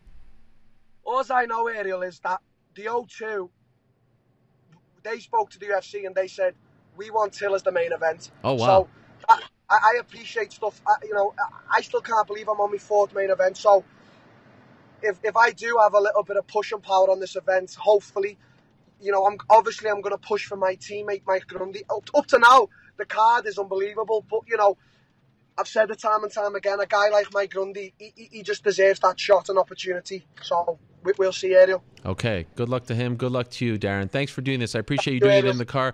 Much love, much respect. See you out there March 16th. Good luck. There he is, the one and only Darren Till stopping by. Great stuff from him. Always appreciate him stopping by. It's always hard to get him and actually get him to show up, but once he does, he's a good time. All right. Now, let us put Bellator on Saturday night to bed. One of the big stories I told you multiple times today Henry Corrales, Aaron Pico, a firefight if I ever saw one. Initially, Corrales gets dropped by Pico, the young stud, the rising star. But then Corrales, in, in, in perhaps a fight that is symbolic of his own life, comes back, gets on his feet, and knocks out the youngster, Aaron Pico. Wow, what a moment. Let's talk to Mr. Henry Corrales right now via the magic of Skype. He joins us right over there. Henry, how are you? Congratulations on the win. Hey, what's up, Ariel? Thanks for having me. Uh, Thanks. First things first, how are your teeth, Henry? I, I understand that you lost your, your front teeth in the fight. They look great there, but how are they doing? These are dentures. Yeah, I have uh, I have these implants that my dentist takes out before before I fight. Can I see what, what, what they look without the dentures? yeah. Oh my, that oh top and bottom. Holy smokes! Yeah. Wow, when did that courtesy happen? Uh, courtesy of Emmanuel Sanchez, dude. He got me in the first round with the knee right up the pipe. Bam. Damn. So when you Smashed- fight, what do you? smashed six of my teeth, dude? And uh, and I went. To, I went to. I still fought the whole fight like that. The split decision loss. All the nerves were, exposed. Oh my. It's brutal. Man, that must have But been was a good horrible. So when you fight, you take the dentures out. Yeah, it's cool. Yeah, I take the dentures out and just throw a mouthpiece in there and then get after it. Okay. Um, well, again, congratulations on the win. What a what a performance! What a fight! I mean, it was so quick, but it was just incredible. It was it was frenetic. When he dropped you early on, what is going through your mind, if anything? Thank you very much, dude. Uh, nothing much, you know. I was just uh, was- he just shot it up the pipe underneath the jab, so I, I kind of blinded my own my own myself with my own shoulder, and he shot that uppercut right up underneath it. Perfect shot that he threw, you know, and it just it dumped me on my ass, dude. But the the moment I realized what I got hit with, I was I was good, dude. By the time I got up, I circled out and I beelined right back to him, like, let's go. Did his power surprise you? Not so much, dude. It was just it was just that I didn't see it, dude. It's those punches that you don't see that are kind of like, whoa, what the fuck was that? Right. Um, and then, and then we're and we're watching him right over here. You know, he didn't back. He didn't back down. He kept going. Obviously, he was trying to end the fight, and he's talked afterwards about how that's something he maybe needs to work on. Did you did you sense that he was just being a little too overzealous? Did you feel like he was being a little too aggressive in that moment? Thought that maybe you were too wounded of an animal? I don't. Yeah, people were saying that, but I don't think he really was, dude. Okay. He was he was compo- he was composed, dude. His both of his hands were up, and he was he was on me, dude, as you should, you know. Right. And uh, it's just the thing was, I was recovered 100%, and I was ready to go. And he, he maybe he got a little, uh, maybe he was shooting those left hands to the body a little too recklessly. He was digging hard, dude, to those body shots. And uh, there was like a split second thought that went through my mind, like, dude, that fucking head's open if he's shooting, if he's going so, if he's digging so hard to the body, and I just fucking slung one in there, dude. Uh, you you've been Yeah. th- that was your twentieth pro fight. Have you ever had more fun in a little over sixty you know sixty seconds in a fight before? What a trip! Yeah, these fights these fights are getting funner and funner, man. This the stage is getting bigger and uh, pretty exciting. Yeah. A little older, so I'm like a lot, a lot more present with the whole process, and it's just cool. When you're younger, dude, you're just a savage, and you're like, fuck it, you're not processing shit, and you're not too conscious about it, and so it's really cool getting a little older, and you're like, damn, it's pretty. Did you feel like you were being served up to him as as a stepping stone, as you know, as as a nice Yeah. a nice name, but for Well, him to keep going? Yeah, you know, with the signing bonus that they gave him and all other rumors that go around about the guy, uh, I think anybody who fights him at this point would pretty much be in that position as a stepping stone, you know. But you know, I wasn't, I wasn't phased by any of that stuff, dude. You know, I've been labeled a lot worse than stuff. Right. Or whatever, so it's all good. Um, so it's interesting because your Bellator career didn't get off on the right foot, but you fought some killers and you took fights on short notice. I mean, you fought the best of the best, Pitbull, etc. But now you're really putting everything together. You've looked very good as of late. We're looking at your last five fights, uh, won them all. Um, and it seems like, as you said, you're getting a little older, a little wiser. Is it? And I've heard about the story of you going to the lab and you know Benson Henderson being there, and you've got great coaches there. Is it just that simple? Change of, of scenery, being with an established team, or is there more to the story? Dude, it's pretty. It's that sim. It's it's a simple story, but you know it is complicated because you got to put in a lot of fucking work and you gotta you gotta uh, put yourself put yourself out there, you know. And uh, you know, I definitely don't want to excuse those losses, you know, but there's some reasons behind them. So uh, you know, we adjusted accordingly, and we're just just keep chipping away and just keep moving forward, man. And uh, yeah, I can't be. I couldn't. I literally couldn't be any great, more grateful for the MMA Lab and what it's done to my career. You know, that's five, five straight since joining them, and uh, just feel really blessed, man. How did you find them? Um, so my chick at the time, she started a doctoral program at ASU, and then my head coach took off to become the striking coach there, Eddie Oh. Cha. Yeah. They, they hired him. They hired him as a full time striking coach, and I was like, "What the fuck am I gonna do out here, dude? I'm over him. I'm not gonna stay here." My lady took off, and my head coach. I was like, "Well, fuck, I'm gonna leave too." So I went over there, and uh, it worked out, dude. Yeah, absolutely. So uh, as of late, look very good. You have Benson in your corner. You've got great coaches in your corner. So it looks like it's all coming together. But I, I, I heard a story uh, that you told at the press conference that I felt like there needed to be a couple, at least a couple more follow-ups uh, about the story where you got stabbed and then, then you nailed the guys with your skateboard. Can, can you repeat that story for me and then I can answer? So is this is this just a, a general? Where did you grow up? Bro, it's just some typical fucking Southern California, Los Angeles County shit. Okay. You know I mean? Most stupid confrontations that go down. Like I was just walking on my board and uh the sun was in my eyes, so I was probably making like a little face or something and these fucking guys were like, What the fuck are you looking at like that? And I was just like, Oh, the sun's in my eyes. Like I was trying to explain myself, but then I felt like a pussy because I had to just explain myself that the sun was in my eyes. I was like, you know what, fuck you. So I just took flight on them and then one of them fucking stabbed me and then uh yeah, I had to defend myself with, with my little skateboard, dude. And uh, yeah, the story has to be cut short there before I incriminate myself. Uh, where did you get stabbed? Uh, just a little tummy, little nick, dude. No big deal. Uh, No big deal. yeah, I didn't, I didn't have no, I didn't have no insurance, so I didn't go to the hospital or nothing. What did you do?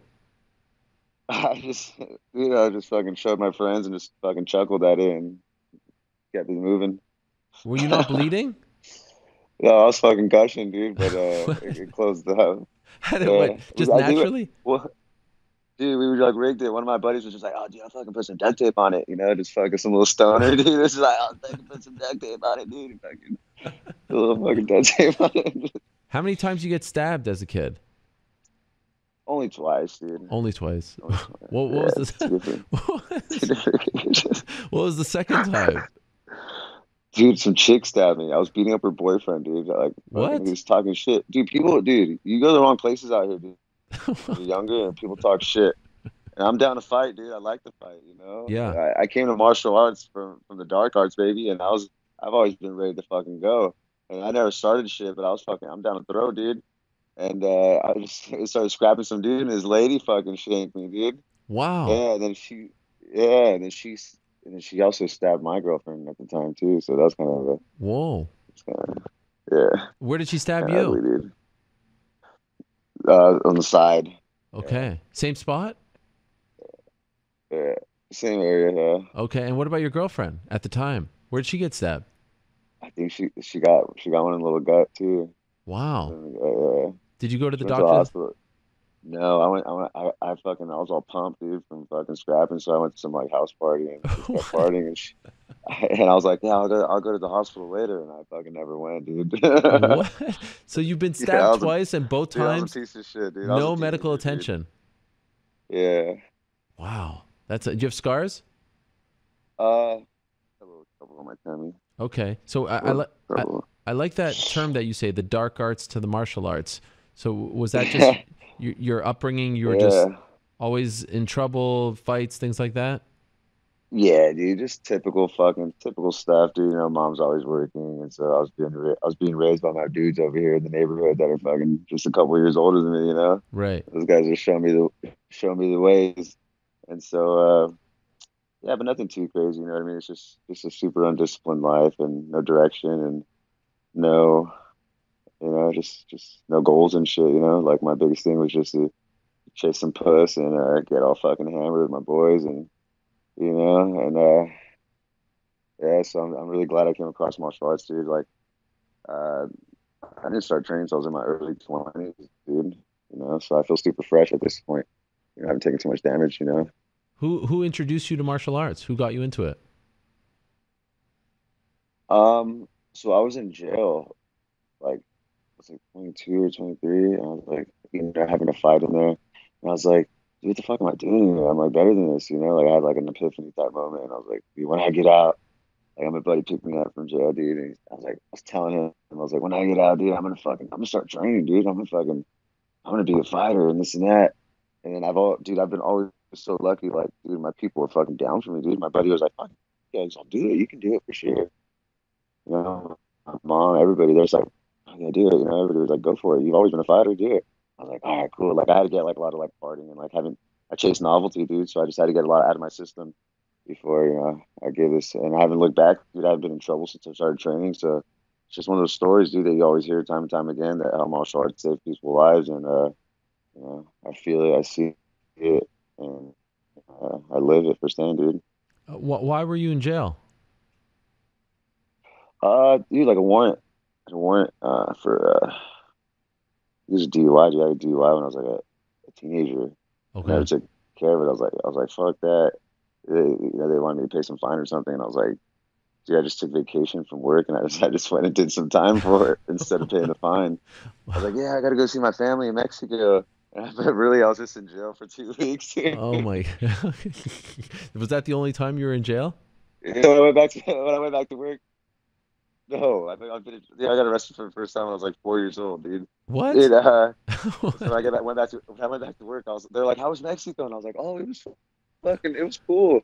But really, I was like in jail, fucking like fighting people and just being a fucking retard. So Wow. So you were in fucking jail. dude. You were in jail for two weeks, and you got into a fight while you were there. yeah, yeah. Wow. And that's what. Cha- so Yeah. how many times have you been in jail? Dude, uh, nothing, nothing, no, no, nothing more than like a two week stint. Okay. Nothing serious, you know what I mean? Just fucking knucklehead stuff, dude. Just, just being a fucking rascal, you know. I, first time I got arrested, I was like five years old, dude. Like me and my buddies were breaking some windows, and the cops are like, they, they fucking snatched us up, dude. And they're like, we're putting this motherfucker in the system. They took me to the fucking station and got my fingerprints right off the bat. What? As a five-year-old? yeah. Yeah, dude. They're like, they, the cuffs wouldn't even fit me. Like, I took them off. I'm like, hey, these don't fit me. And I just took them off. They're like, yeah, just, just sit there. They wanted Wow. to put me in the system, dude. What did your knew I was mom say? Knucklehead. What did your mom say? Dude, my poor mom. Yeah, dude. My mom had dealt with a lot of shit, dude. Okay. Yeah. Jeez. And do you have But siblings? she's, she's cool. She always, she always stuck with me. Yeah, I'm the middle child, dude. I have two older sisters and a younger brother and a younger sister. And, uh, yeah. They get into trouble too? No. Yeah, no, just me. Just Oh. me. My oldest, my oldest sister. She was, yeah, she- my oldest sister is a bit of a handful. But we're all fighters, dude. We all like to fight, dude. Like it's in our blood. Okay. And I, I remember my oldest, me, me and my my oldest sister. She's a scrapper too. Me and her were like, yeah.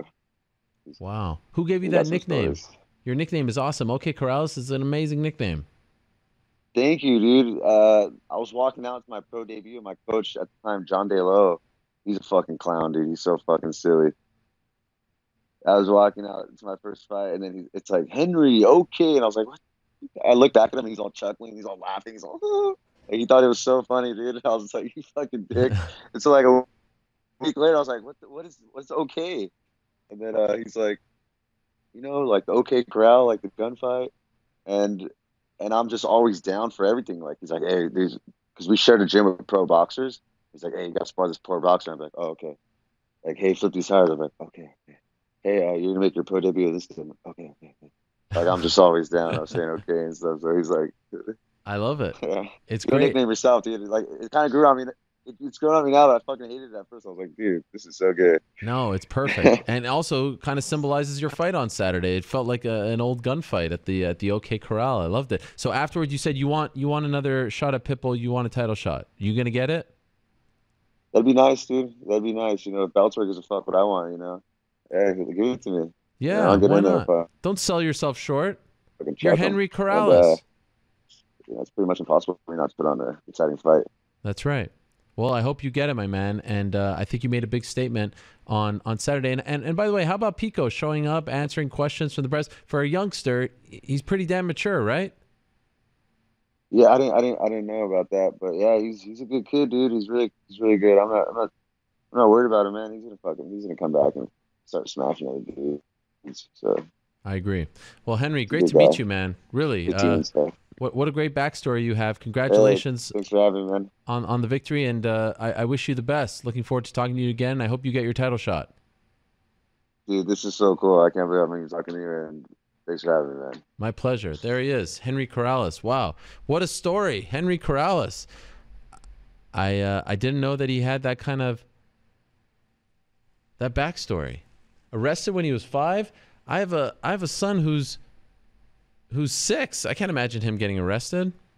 That is incredible. I do believe that uh, he has made a very strong case to be next in line for a belt. Uh, he came to Bellator from King of the Cage, former King of the Cage champion. Lost to Daniel Strauss via guillotine. Lost to Emmanuel Sanchez. You saw his teeth there, right?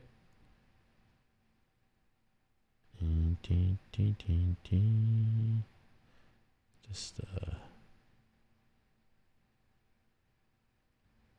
and then fought Patricio Pitbull and lost to him via guillotine on short notice, super short notice. Then he was supposed to fight AJ McKee. Uh, that fight never materialized. And then since then, he has won five in a row. So lost his first three fights in Bellator, has won five in a row, beat Cody Bollinger via uh, knockout, beat Noad Lahat via decision, beat Georgi Karakhanyan via decision, beat Andy Main via knockout. That was back in October. And then this uh, past weekend beat Aaron Pico via knockout as well. Henry Corrales, 17 and 3 now. Wants another shot at Patricio Pitbull. I did see uh, the Pitbull brother, well, Patricio and, and uh, Michael Chandler going back and forth on Saturday via Twitter as well. So we'll see how that all materializes. All right. Last up on the program, the one and only Demetrious Johnson. He'll be joining us, the one of the newest members of One Championship, of course, the longest reigning champion in UFC history. Uh, last fought in August against Henry Cejudo.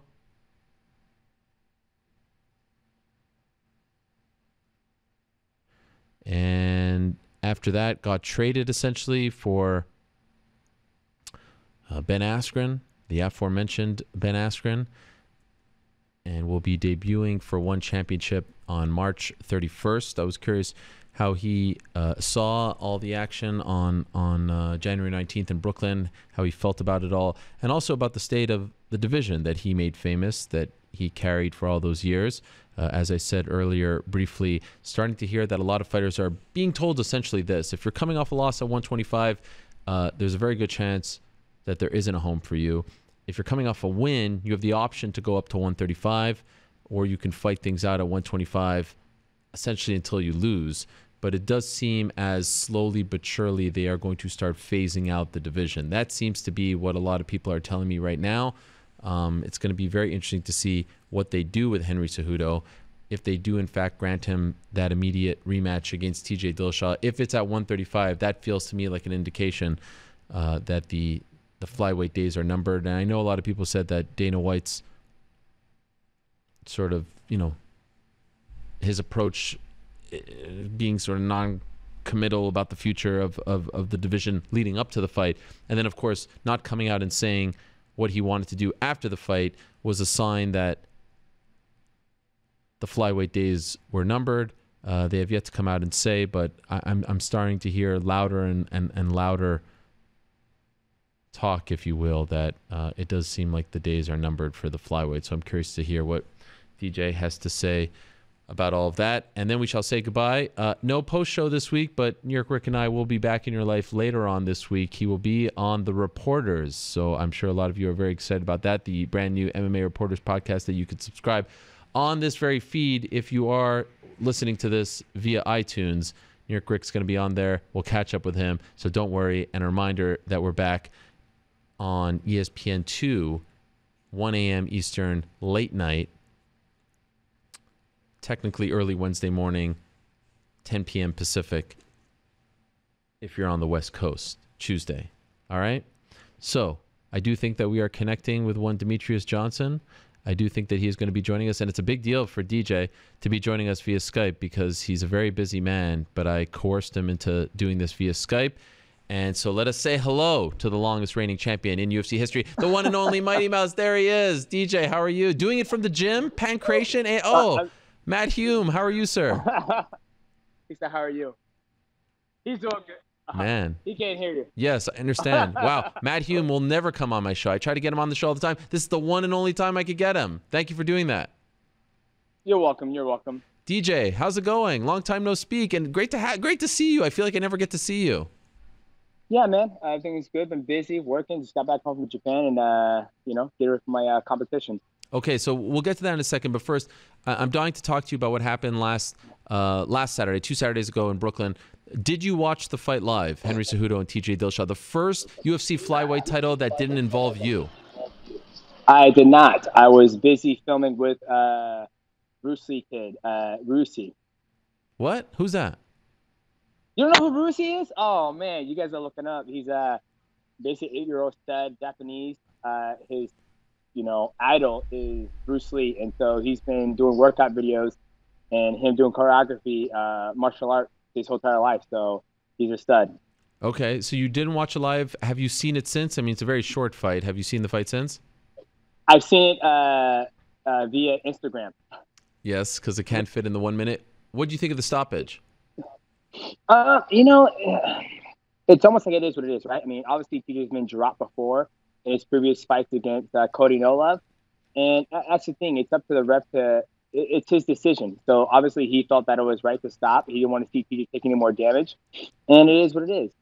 Okay, don't give me the DJ media answer here. Give me the real Demetrious Johnson answer here. Was it not weird to see a UFC flyweight title fight happen without you? It had to be a little weird, right? No, not at all. Um, one of the things my sister and a lot of people tell me is that I'm not emotionally attached to uh, I wasn't emotionally attached to the belt. Once I lost it, it was it was it was done. I wasn't a part of that division anymore. I moved on to you know one championship, something that's bigger and better in my personal opinion, and uh, you know it, it wasn't weird at all. Like when it happened, it was I was almost happy for those guys getting that spotlight to be able to headline the ESPN, especially you know the talks with the UFC getting rid of, rid of the flyweight division how could you be so unemotionally attached to something that was such a big part of your life that represented you that, that, that you were the face of for so long? That's the one thing that i can't understand. Well it's it's it's just how i've always been you know? I, I would go there and defend my title and then come back home and get ready for the next one. So the same thing i lost that fight and you know you move on and you start uh, working on other things. Sorry Were you- the camera. I, i'm sorry. No you're good you're good you're good. Were you rooting for henry? Uh, i was rooting for the best man okay best man. Obviously, they're both they're both great athletes, and I always want to see the best athlete win, the best fighter win. Don't you think it's a little weird that they're even considering getting rid of the flyweights? I mean, Henry's doing a good job, right? He's entertaining. He just beat the bantamweight champion. Will a part of you feel a little sad if they get rid of this weight class that you helped build? No, not at all, because that's that's that's their deal. I mean, at the end of the day, they've been talking about getting rid of that weight class when I was the champion. Yeah. Defend, defending the belt, so I'm not a part of it anymore. It's it, it's one of the best divisions. You know, you, you look at it skill wise, technique wise, cardio wise. I mean, just everything. I mean, we have it. You know, the flyweights they don't get tired.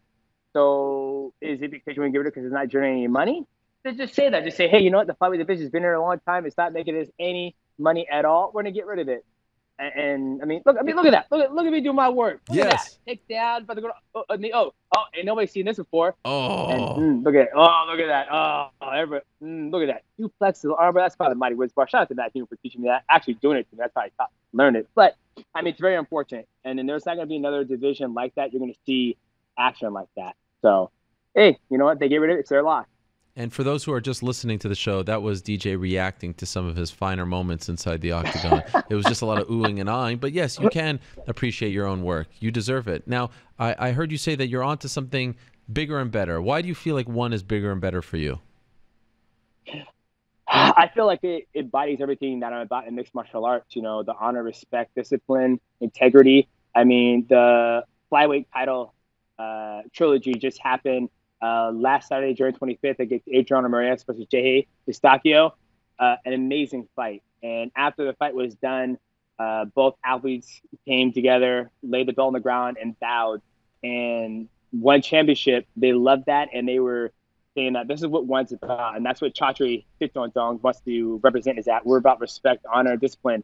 And throughout my whole entire career in mixed martial arts, I've always been a respectful athlete, uh, showing my opponent, you know, respect and let everybody know like a fight's a fight, anything can happen.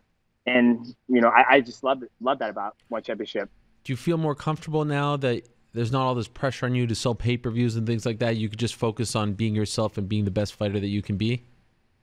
One hundred percent, one hundred percent. Uh, Chatri and everybody at one championship, they said the biggest thing we want is authentic, uh, authenticity. And so, I mean, that's what I always try to do is just be authentic.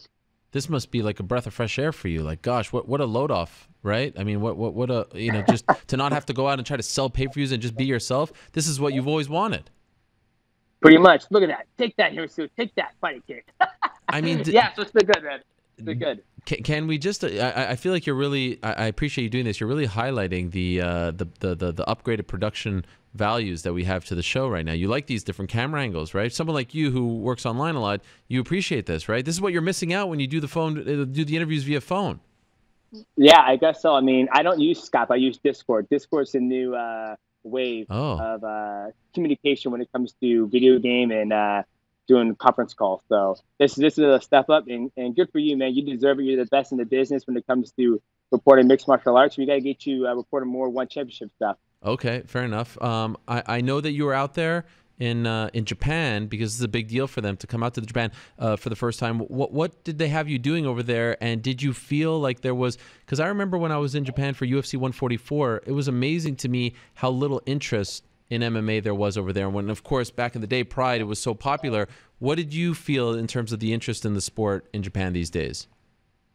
Well, obviously, right now there's been a recession. Well, a couple of years ago, there's been a recession in mixed martial arts in Japan with just a, I don't want to say the financial market, but just the economy itself. And so now you have Rizin doing a good job trying to get the mixed martial arts back there. Kyoji's over there doing a good job.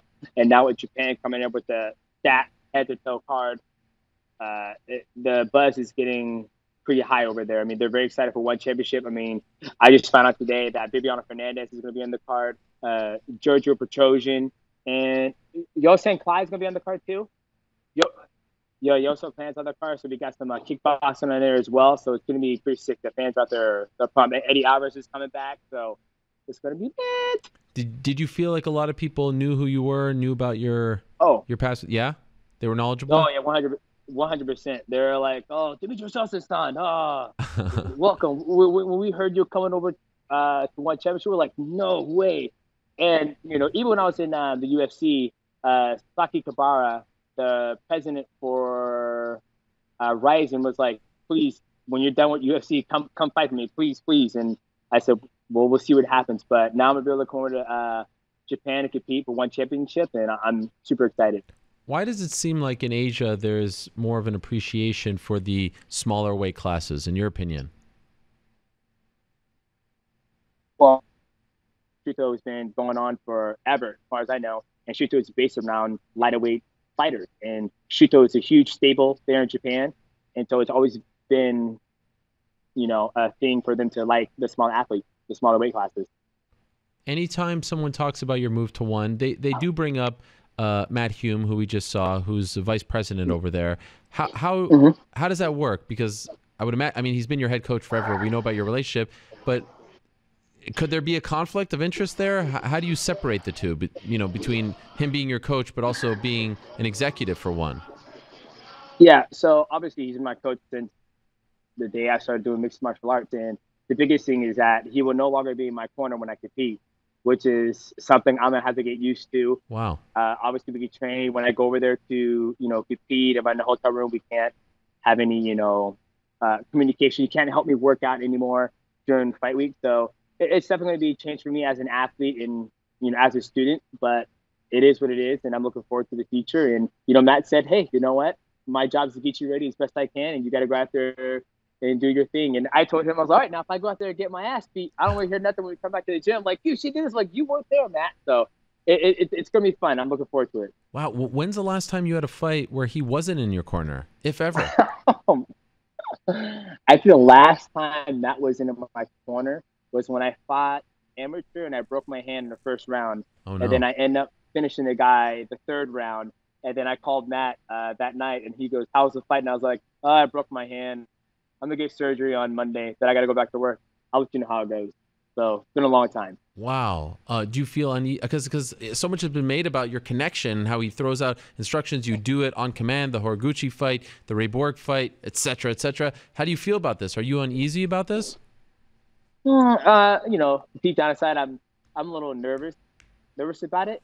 But I feel there's a point in time when Matt, when he was training and when he was competing, he would go into his competitions with you know his training partners in the corner and he'll go out there and do what he needs to do. So for me, uh, mentally, I need to go out there and do what I need to do and remember all the training that Matt, you know, put me through up to that point. That's how I feel emotionally and mentally about it. So I mean, you just imagine like that's been what been making me good all these years that me and Matt had this yin yang. Like it's like a video game. Matt's like, do this, do this, and I'm like, boop, boop, boop. I'm doing it. So now I just got to go out there and do it. Wow. So who's your head coach?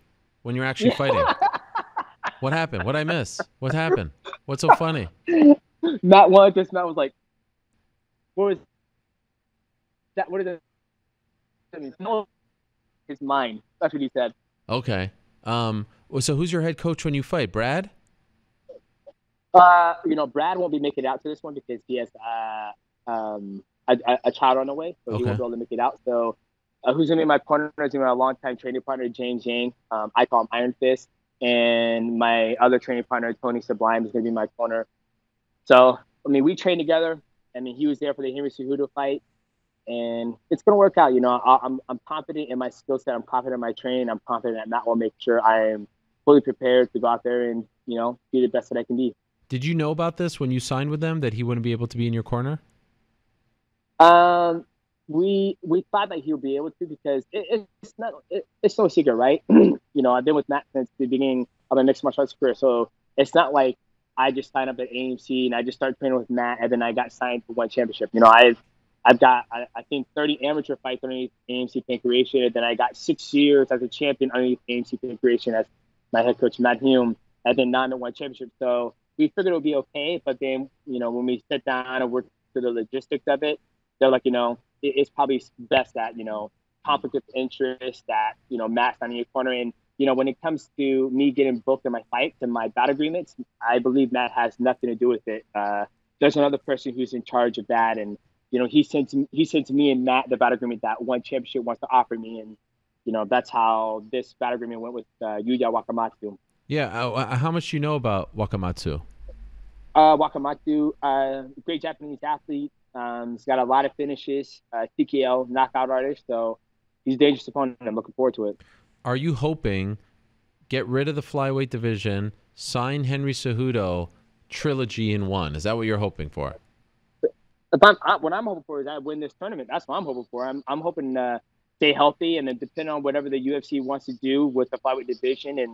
And I know Chatri and uh, Henry Cejudo, they uh, they have a relationship, so I wouldn't be surprised if they get rid of the division um, Cejudo comes over the one championship, and then uh, if I become the champion, then uh, we can uh, do it up again.